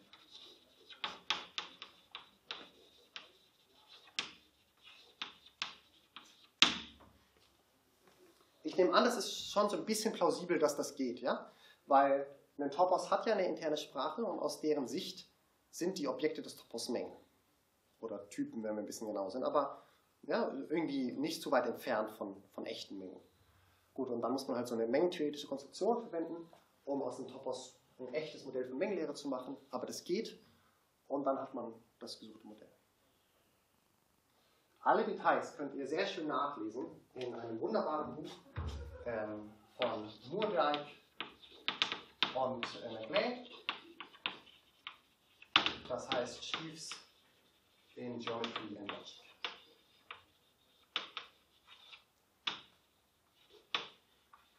Alle Details, das ist ein kleines bisschen geschummelt. Den allerletzten Teil, der ist nicht in dem Buch angegeben. Aber da könnt ihr ein Paper zu Rate ziehen und dann habt ihr das auch drauf. Und den oberen Teil hier, der wird dort ein bisschen anders umgelebt. Die machen das nicht mit klassifizierten Topoi, sondern die geben direkt den Topos an, in dem das passiert. Aber ich finde, es ist ein bisschen konzeptioneller, so drüber zu denken. Okay, und das ist halt äh, also eigentlich ein recht schicker Beweis, weil der illustriert so, was man mit Topoi noch wirklich machen kann. Nämlich nicht nur eben ein für alle Mal, ein für alle Zeit in einem Topos bleiben und ihn erkunden, sondern den gerne ver verlassen und verändern und modifizieren. Hier haben wir eben gestartet mit dem Topos bemängeln, haben gesehen, aha, in ihm gibt es nicht so eine Injektion, na gut, dann lass den Topos dieser äh, Injektionen oder Topos von so einer Injektion bauen. Aha, schade, da geht nicht Lem drin, na gut, dann lass den kleinsten Untertopos absteigen. Ah, schade, ist kein Modell von Mengenlehre, na gut, lass ein Modell von Mengenlehre daraus machen. Ja? Und das ist halt schön, dass man das mit, mit Topoi machen kann. Ähm, da- das ist dann so ein bisschen genauso der Schritt wie von, ähm, irgendwie von der Schule hin zur Ringtheorie. In der Schule hat hat man auch einen Ring untersucht, nämlich Z. Und den ganz, ganz ausführlich. Ja, Zahlen gerade gemalt und Übungsordnung gemacht. Und später in der Ringtheorie merkt man, es gibt tausende Ringe und man kann schön zwischen denen wechseln, man kann lokalisieren, man kann Prozenten bilden und so. Und das geht halt in Topos-Theorie auch. Man muss nicht unbedingt in einem Topos bleiben, sondern man kann, kann schön den Topos wechseln und dann eben schauen, was dann so passiert. Lasst mich diese erste Sache hier noch genauer angeben und damit dann vielleicht auch schließen mit einem offenen, ungelösten Problem, wo viele Leute sehr happy wären, wenn das gelöst wäre. Und dann, dann wir das.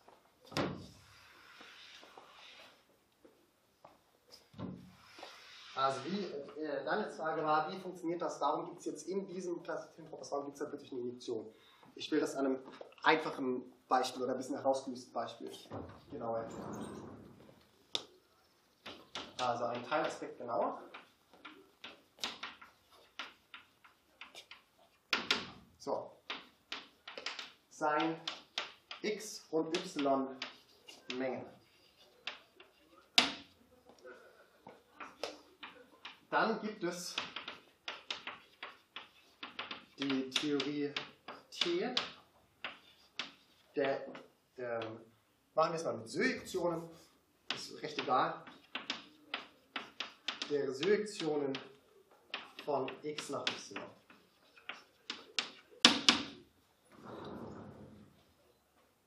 Wie sieht die Theorie aus? Atomare Propositionen sind wieder so Phi XYs, wie vorhin auch. Und die Vorstellung soll wieder sein, Phi XY soll ausdrücken, dass, dieser, dass diese hypothetische Selektion, die es vielleicht gar nicht gibt, dass die x auf y schickt. Gut. Äh, was sind die Axiome? Lass das ruhig jetzt ein bisschen ausführlich machen, damit ihr auch alles nachrechnen könnt, was hier passiert, falls ihr das wollt. Wir brauchen ein Axiom, was ausdrückt, dass Phi total ist.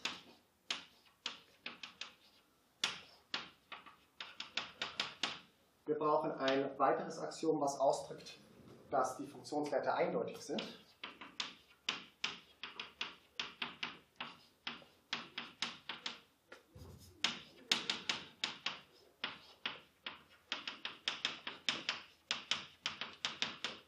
Und wir brauchen äh, ein Axiom, was diese Aktivität ausdrückt.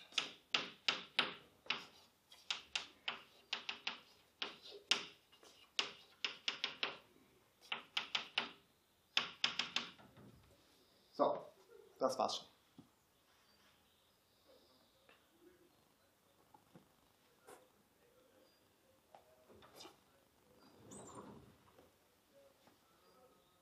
So, Modelle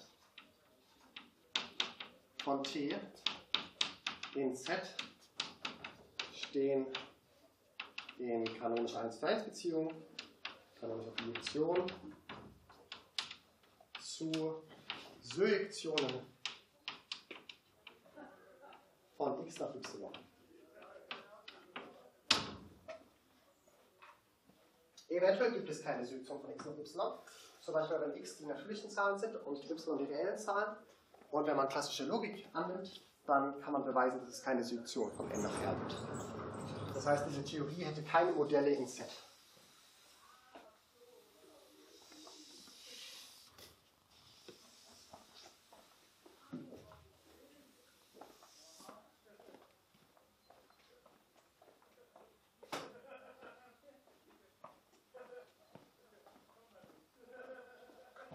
So. Aber in vielen Fällen ist sie trotzdem nicht trivial. Ähm, ich glaube, dass der einzige Fall, wo diese Theorie trivial ist, das heißt, wo sie top, wo sie zeigt, dass Top-Bottom bedingt, der ist, dass x bewohnt ist und y leer ist.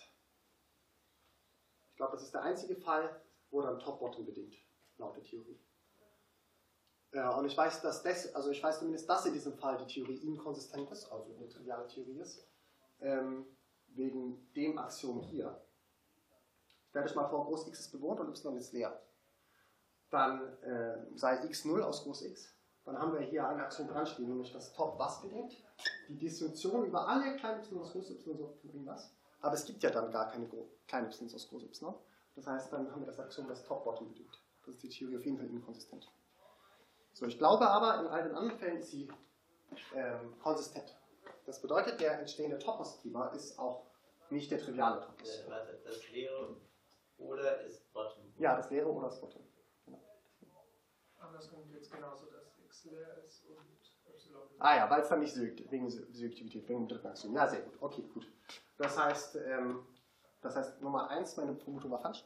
Und Nummer zwei, wir haben eine neue Vermutung, nämlich, wenn x und y beide bewohnt sind, dann ist die Theorie vermutlich konsistent. Oder beide leer. Oder beide leer, ja, ja, genau. Richtig. Dann geht's auch. Ja.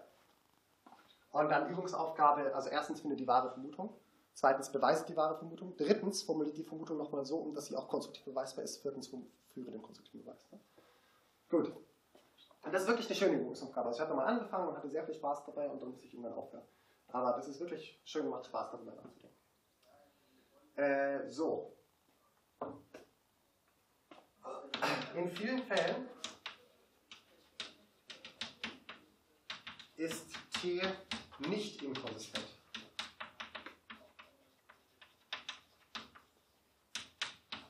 Der meist zitierte Fall wäre, wenn x n ist und y r. Ähm, gut. Sodass auch der Gabentopos drüber nicht trivial ist. Sodass auch dieser Topos nicht trivial ist. Und ein Topos heißt genau dann trivial, wenn in seiner Kernsprache Wortl gilt. Und bis auf Äquivalenz gibt es nur einen trivialen Topos, nämlich der, der auch nur ein einziges Objekt enthält. Und das ist dann gleichzeitig das Initialobjekt, das Terminalobjekt, der Unterobjekt, das Spezierer, alles. Im trivialen Topos gilt dann jede Aussage überhaupt, auch die Negationen von allen Aussagen. Ähm, sodass auch das dann nicht trivial ist. Obwohl dieser Topos möglicherweise keine Punkte hat. Ne?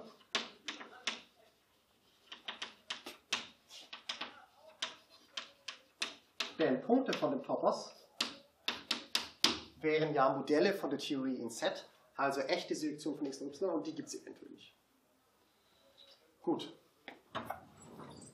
In jedem Fall, und das beantwortet jetzt Daniels Frage, und wir können dies explizit angeben, in jedem Fall gibt es in dem Gabentopos, in dem klassischen Topos, einen Monomorphismus nein, einen Epimorphismus, also das wir Selektion gerade gemacht haben, einen Epimorphismus von der konstanten Garbe x in die konstante Garbe y.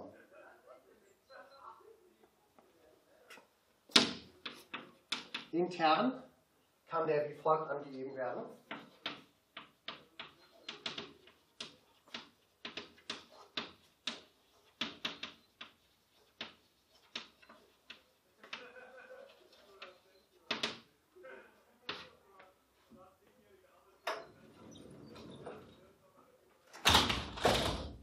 Also wir nehmen irgendeinen kleinen x aus der Garbe x unterstrichen. Aus interner Sicht ist das nur eine Menge. Und jetzt schicke ich das klein x auf das eindeutige y unterstrichen von der Garbe groß y unterstrichen mit der Eigenschaft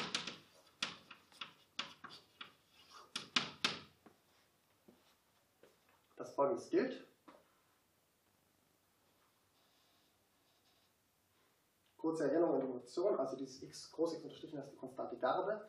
Für den Fall, dass das hier ein Topos von Garben über einen topologischen Raum wäre, wäre das die Garbe der lokal konstanten groß x-wertigen Funktionen. Und wenn ich ein Element aus groß y nehme, nämlich klein y, und das unterstreiche, dann meine ich damit welches Element von der Garbe der lokal konstanten y-wertigen Funktionen? Das die konstante Funktion, die überall in der y hat. Okay, mit welcher Eigenschaft? Naja,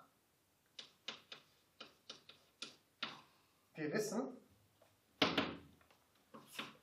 dass dieses beliebige Element ähm, x, was wir uns aus, äh, uns aus interner Sicht gönnen, dass das gleich einem dieser Werte hier ist. Das hat mir mal festgehalten bei einem ganz kurzen Abschnitt äh, zu konstanten Gaben und deren interner Eigenschaften.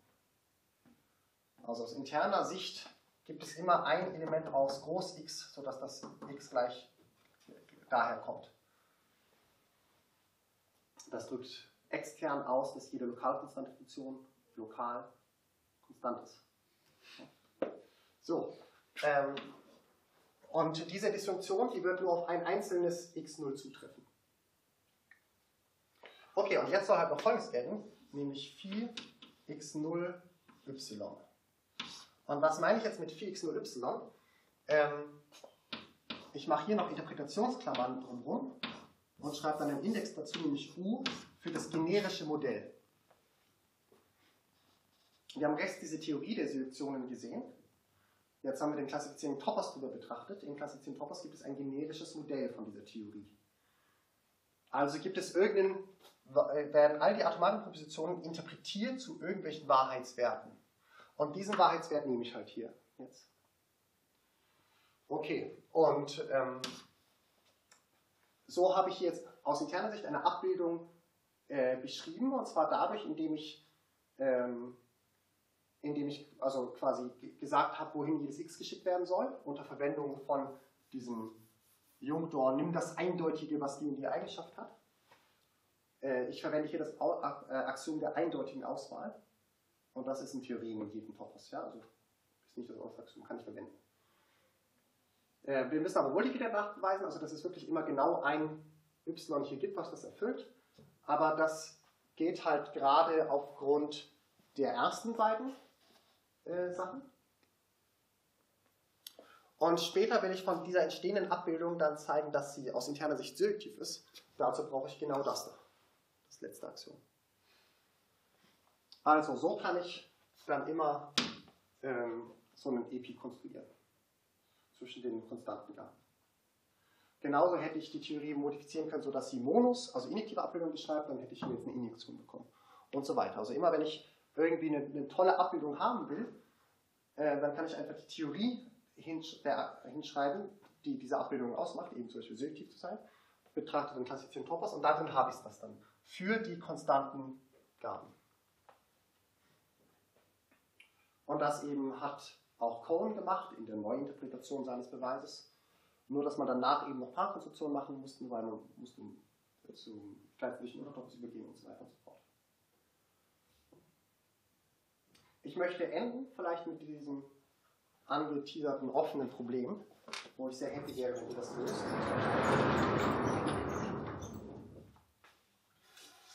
Und zwar, man untersucht doch seit dem Ende des 19. Jahrhunderts, untersucht man doch Abzählbarkeit und Unabzählbarkeit. Das hat doch Cantor gemacht, ja? Und ähm, eines der ersten Resultate, die man dort lernt, ist, dass die reellen Zahlen überabzählbar sind. Frage, offene Frage, lässt sich auch konstruktiv zeigen, reellen Zahlen überabzählbar sind. Ihr könnt jetzt sagen, Moment, das ist doch einfach Cantor. Und wir haben doch gesehen, dass Cantors Diagonalargument eben konstruktiv beweisbar ist. Und das stimmt auch. Und damit seht ihr, dass, es, äh, dass man konstruktiv zeigen kann, dass es keine Surrektion von n in die Potenzenmenge von n geben kann. Und klassisch gibt es eine Bijektion zwischen der Potenzmenge von n und r. Aber die gibt es konstruktiv nicht. Im Wesentlichen deswegen nicht, weil man nicht jede Zahl in Binärziffern entwickeln kann.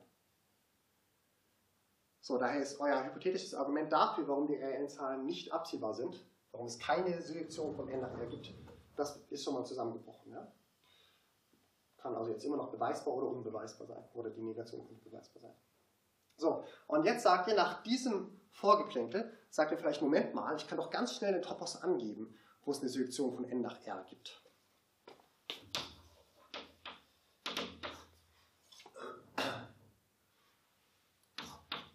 Im klassifizierenden Topos der Theorie der Surjektionen von n nach r gibt es einen Epi, also aus interner Sicht eine Surjektion von der konstanten Gabe n in die konstante Gabe r. Das ist nur eine Wiederholung von dem, was auf der linken Tafel steht. Und dann könntet ihr denken, ja prima, dann bin ich doch fertig. Dann habe ich doch jetzt ein Modell, ein Topos angegeben, in dem es eben schon eine Selektion von n nach r gibt, nämlich diese hier, aus interner Sicht. So, aber das ist, äh, das ist ein kleines bisschen zu schnell gefolgert. Es kann sein, dass ihr recht habt, das weiß aber momentan niemand, soweit ich es wiederum weiß. Und zwar kommen hier irgendwelche zwei Gaben vor. Die konstante Gabe n und die konstante Gabe r. Um die geht es aber eigentlich bei der Frage gar nicht. Es geht um die echten natürlichen Zahlen aus interner Sicht und die echten reellen Zahlen aus interner Sicht. Wobei von denen gibt es mehrere Kandidaten, ne? Cauchy oder Dedekind. Auch immer. So, das steht da jedenfalls gerade nicht dran. Man muss sich also noch ein bisschen mehr Gedanken machen über diese Garben. Gute Nachricht hier vorne, das haben wir auch mal festgehalten. Die konstante Garbe n, die ist genauso ein NNO, ein Objekt natürlicher Zahlen aus interner Sicht. Also diese Garbe ist dieselbe, wie wenn ich einfach in dem Gabentopos anfange, die natürlichen Zahlen zu konstruieren. Dann kommt die konstante Garbe n raus. Super. So, aber von dem da ist halt nicht klar, vermutlich falsch, dass, das, dass diese Garbe die ist, die man bekommt, wenn man intern versucht, die cauchy Zahlen zu konstruieren. Und es ist auch nicht klar, ob es dasselbe wäre, wie wenn man anfängt, intern die Dedekind-Zahlen zu konstruieren. Das heißt, ja, in diesem Topos gibt es so eine Selektion von n in, in irgendeine Menge, die irgendwas mit reellen Zahlen schon zu tun hat. Aber es ist nicht klar, dass das die Cauchy-reellen Zahlen sind. Es ist auch nicht klar, dass es aus meiner Sicht die Dedekind-reellen Zahlen sind. Also das ist einfach noch, äh, also es ist sowohl offen, ob es eines von den beiden ist, und es ist auch einfach noch offen die Frage, ob, äh, ob es so eine Selektion gibt. Ist alles offen. Wir hatten in manchen Situationen festgehalten, ähm, wie diese oder diese Garbe aussieht. Ähm, zum Beispiel das da war dann immer die Gabe der stetigen reellwertigen Funktionen. Und das da war manchmal die Gabe der lokal konstanten reellwertigen Funktionen, aber da ging manchmal ein, nämlich da musste der Topos lokal zusammenhängend sein. Und ähm, ich vermute recht stark, dass dieser Topos nicht lokal zusammenhängend ist, ja, sodass man einfach nicht weiß, was hier rauskommt. Ist es klar geworden, wie man künstlich Selektionen oder Injektionen erschaffen kann?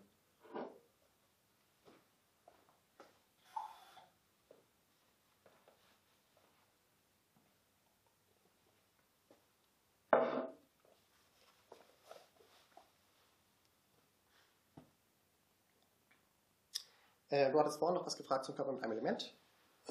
Dazu gibt es noch Folgendes zu sagen.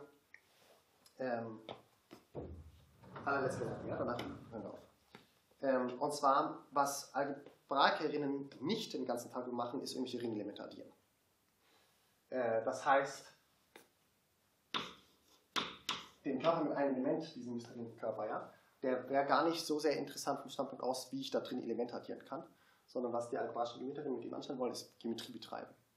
Insbesondere etale Geometrie betreiben. Das heißt, was die eigentlich nur brauchen, ist den etalen Topos vom Spektrum von F1. Nicht F1 selbst. Ja? Wenn ähm, F1, wenn ich statt F1 hier einen richtigen Ring hinschreiben würde, einen, einen den es gibt, dann, dann wäre, das Objekt, was jetzt drin steht, eine wohldefinierte Bedeutung in Geometrie und wäre ganz wichtig für die Geometrie.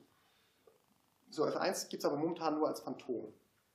Und ähm, was äh, zwei Leute gemacht haben, und diesmal habe ich mir die Namen aufgeschrieben, nämlich Alarcon, der berühmte Zahlentheoretiker, und ähm, Consani, eine Kollegin von ihm, äh, die haben einen Kandidaten angegeben, nicht für F1, auch nicht für Spektrum für F1, aber für den sogenannten etalen Topos von Spektrum F1. Kandidat für das. Nämlich den Topos der Garben über den sogenannten arithmetischen Situs.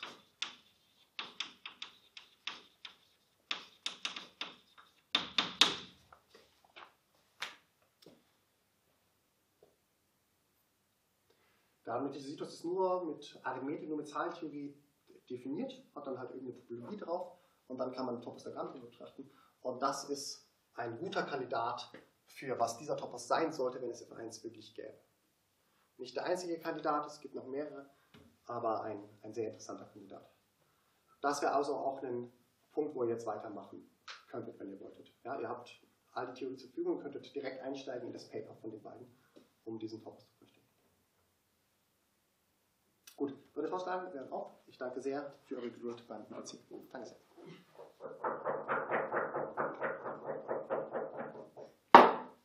Habt ihr noch irgendwelche Fragen? Nach nur zwei, drei, drei Stunden? Zwei Stunden. Zwei Stunden. 46 Minuten, Alles. 8 Sekunden. Okay. Ja, das ist ja gar kein Problem. Das war jetzt deine letzte Vorlesung erstmal hier in Augsburg. Ja, das war schon. Noch eine Frage weit weg von dem, äh, was wir jetzt hatten. Ja. Und zwar die Anwendungen sind ja meistens in reiner Mathematik. Ja, richtig. Gibt es auch irgendwas, was mit Topoi gemacht wurde, Mhm. was in Richtung Optimierung oder auch Ja. Numerik? Ja, Exzellente Frage. Also wenn du wirklich Topper sagst, dann ist mir persönlich keine Anwendung bekannt. Das heißt, man sollte dringend mal eine Anwendung suchen, weil das cool wäre. Äh, wenn du es ein bisschen ausweitest, dann schon. Äh, Proof Mining, wenn du das noch dazu zählst, da gibt es Anwendungen in, ähm, also in der, in der konvexen Optimierung oder sowas. Ich denke, das ist hinreichend angewandte Mathematik. So, äh, Ingo, hast du noch irgendwas von diesem Typen beim IGS gehört, der mit uns in der gleichen Unterkunft war? Mhm. Äh, nee, nicht mehr direkt. Okay. Der wollte, der wollte Anwendungen Ja, von Topper in C-Sternalgebren. Ne? Oder Numerik sogar eigentlich. Äh, genau, mit, ja, richtig, mit Hilfe von Sicherheiten. Stimmt. Verlässt doch eine E-Mail fragen, ob er es ausgefunden hat. Ja. Ja, Hm. genau. Ähm, Toppe wurde bisher halt nur untersucht von reinen Mathematikern. Deswegen ist recht klar, dass die Anwendungen in der reinen Mathematik liegen. Ähm, ist sehr super spannend nach Anwendungen da in der angewandten Mathematik zu suchen. Kann sein, dass es keine gibt, ne? Kann, ist eine legitime Möglichkeit. Aber kann auch sein, dass es welche gibt und dass die geil sind. Es gibt noch irgendeinen, der ist der Michael Winter, der hat irgendwas gemacht mit Hilfe, äh, wie heißen diese äh, Allegorien? Ja, genau. Genau, mit äh, Allegorien, mit denen er dann irgendwie so Kontrolltheorie machen will. Mhm. Also so irgendwie, irgendwie Maschinen müssen entscheiden aufgrund von Ja. Sensordaten, was sie tun sollen. Das ist geil. Wie heißt der? Michael Winter, wenn ich mich richtig erinnere. Gut. Aber das ist auch schon wiederum Jahre her, dass ich da mal reingeschaut habe. Ich kann was Neues sagen. Das war, da, da, da- das war mal, das ist mindestens vier Jahre her. Okay, ja. Na ja, gut, vier Da Jahre. kannte ich mich auch noch nicht so gut aus. Ja. Ähm, es gibt jemand anderen, der untersucht nicht Anwendung von Topoi in der echten Welt, sondern Anwendung von Kategorientheorie in der echten Welt. Also auch ein bisschen abgeschwächt, aber auch in dieselbe Richtung. Wirklich. Und das ist David Spivak. Und der hat wirklich ein paar interessante Anwendungen, auch in so Sachen wie Datenbanken im informatischen Sinne, ja, MySQL-Datenbanken, ähm, und ähm, so Diagramme von Schaltungen, elektrische Schaltungen. Da hat er Anwendung von Kategorientheorie. Kenne die jetzt leider nicht, muss dein Buch noch durchlesen, ist ganz oben auf meiner To-Do-Liste. Ähm, aber könnt ihr machen, ist auf dem Archive, ist, gut, ist super gut lesbar, hat tausende von Abbildungen drin, sehr schön getecht. Das könnt ihr. Könnt ihr. Also, ähm, ja, macht das doch einfach als Masterthema oder Doktorthema, dass du eine Anwendung in der Numerik findest. Also, Masterthema habe ich jetzt schon in der Spieltheorie. alles klar, dann brech das doch mal ab. Und ähm, Lukas Graf hatte auch eine Anwendung von Kategorientheorie in der Spieltheorie untersucht. Ähm, es gibt so Kategorien von Spielen und dazwischen gibt es Funktoren und damit kann man dann irgendwas besser strukturieren. Ich weiß nicht mehr genau, aber ähm, er hat einen exzellenten Vortrag dazu gehalten. Muss ich mal fragen. Mhm. Ich hatte immer so den Eindruck, ähm, in den Bereichen es ist verdammt schwierig, irgendwie schon mal eine Kategorie von irgendwas zu finden. Mhm. Ja. Dass er nicht so aufzogen wird, wir jetzt die Objekte, Genau, richtig. Richtig, ja. sondern es ist Ja. Ja. ganz anders. Ja, ja, das stimmt. Es gibt auch Leute, die zum Beispiel sagen, dass für Hardcore-Analysis, dass das schon funktionale Analysis zu abstrakt ist, als dass es Anwendung haben könnte. Also mit Hardcore-Analysis ist dann gemeint, wenn du wirklich Abschätzungen den ganzen Tag machst und dann helfen die halt so Aussagen wie, oh schön, jede beschränkte Folge hat eine schwach konvergente Teilfolge, die man in Funktionalanalysis lernt, die helfen dir dann halt nicht.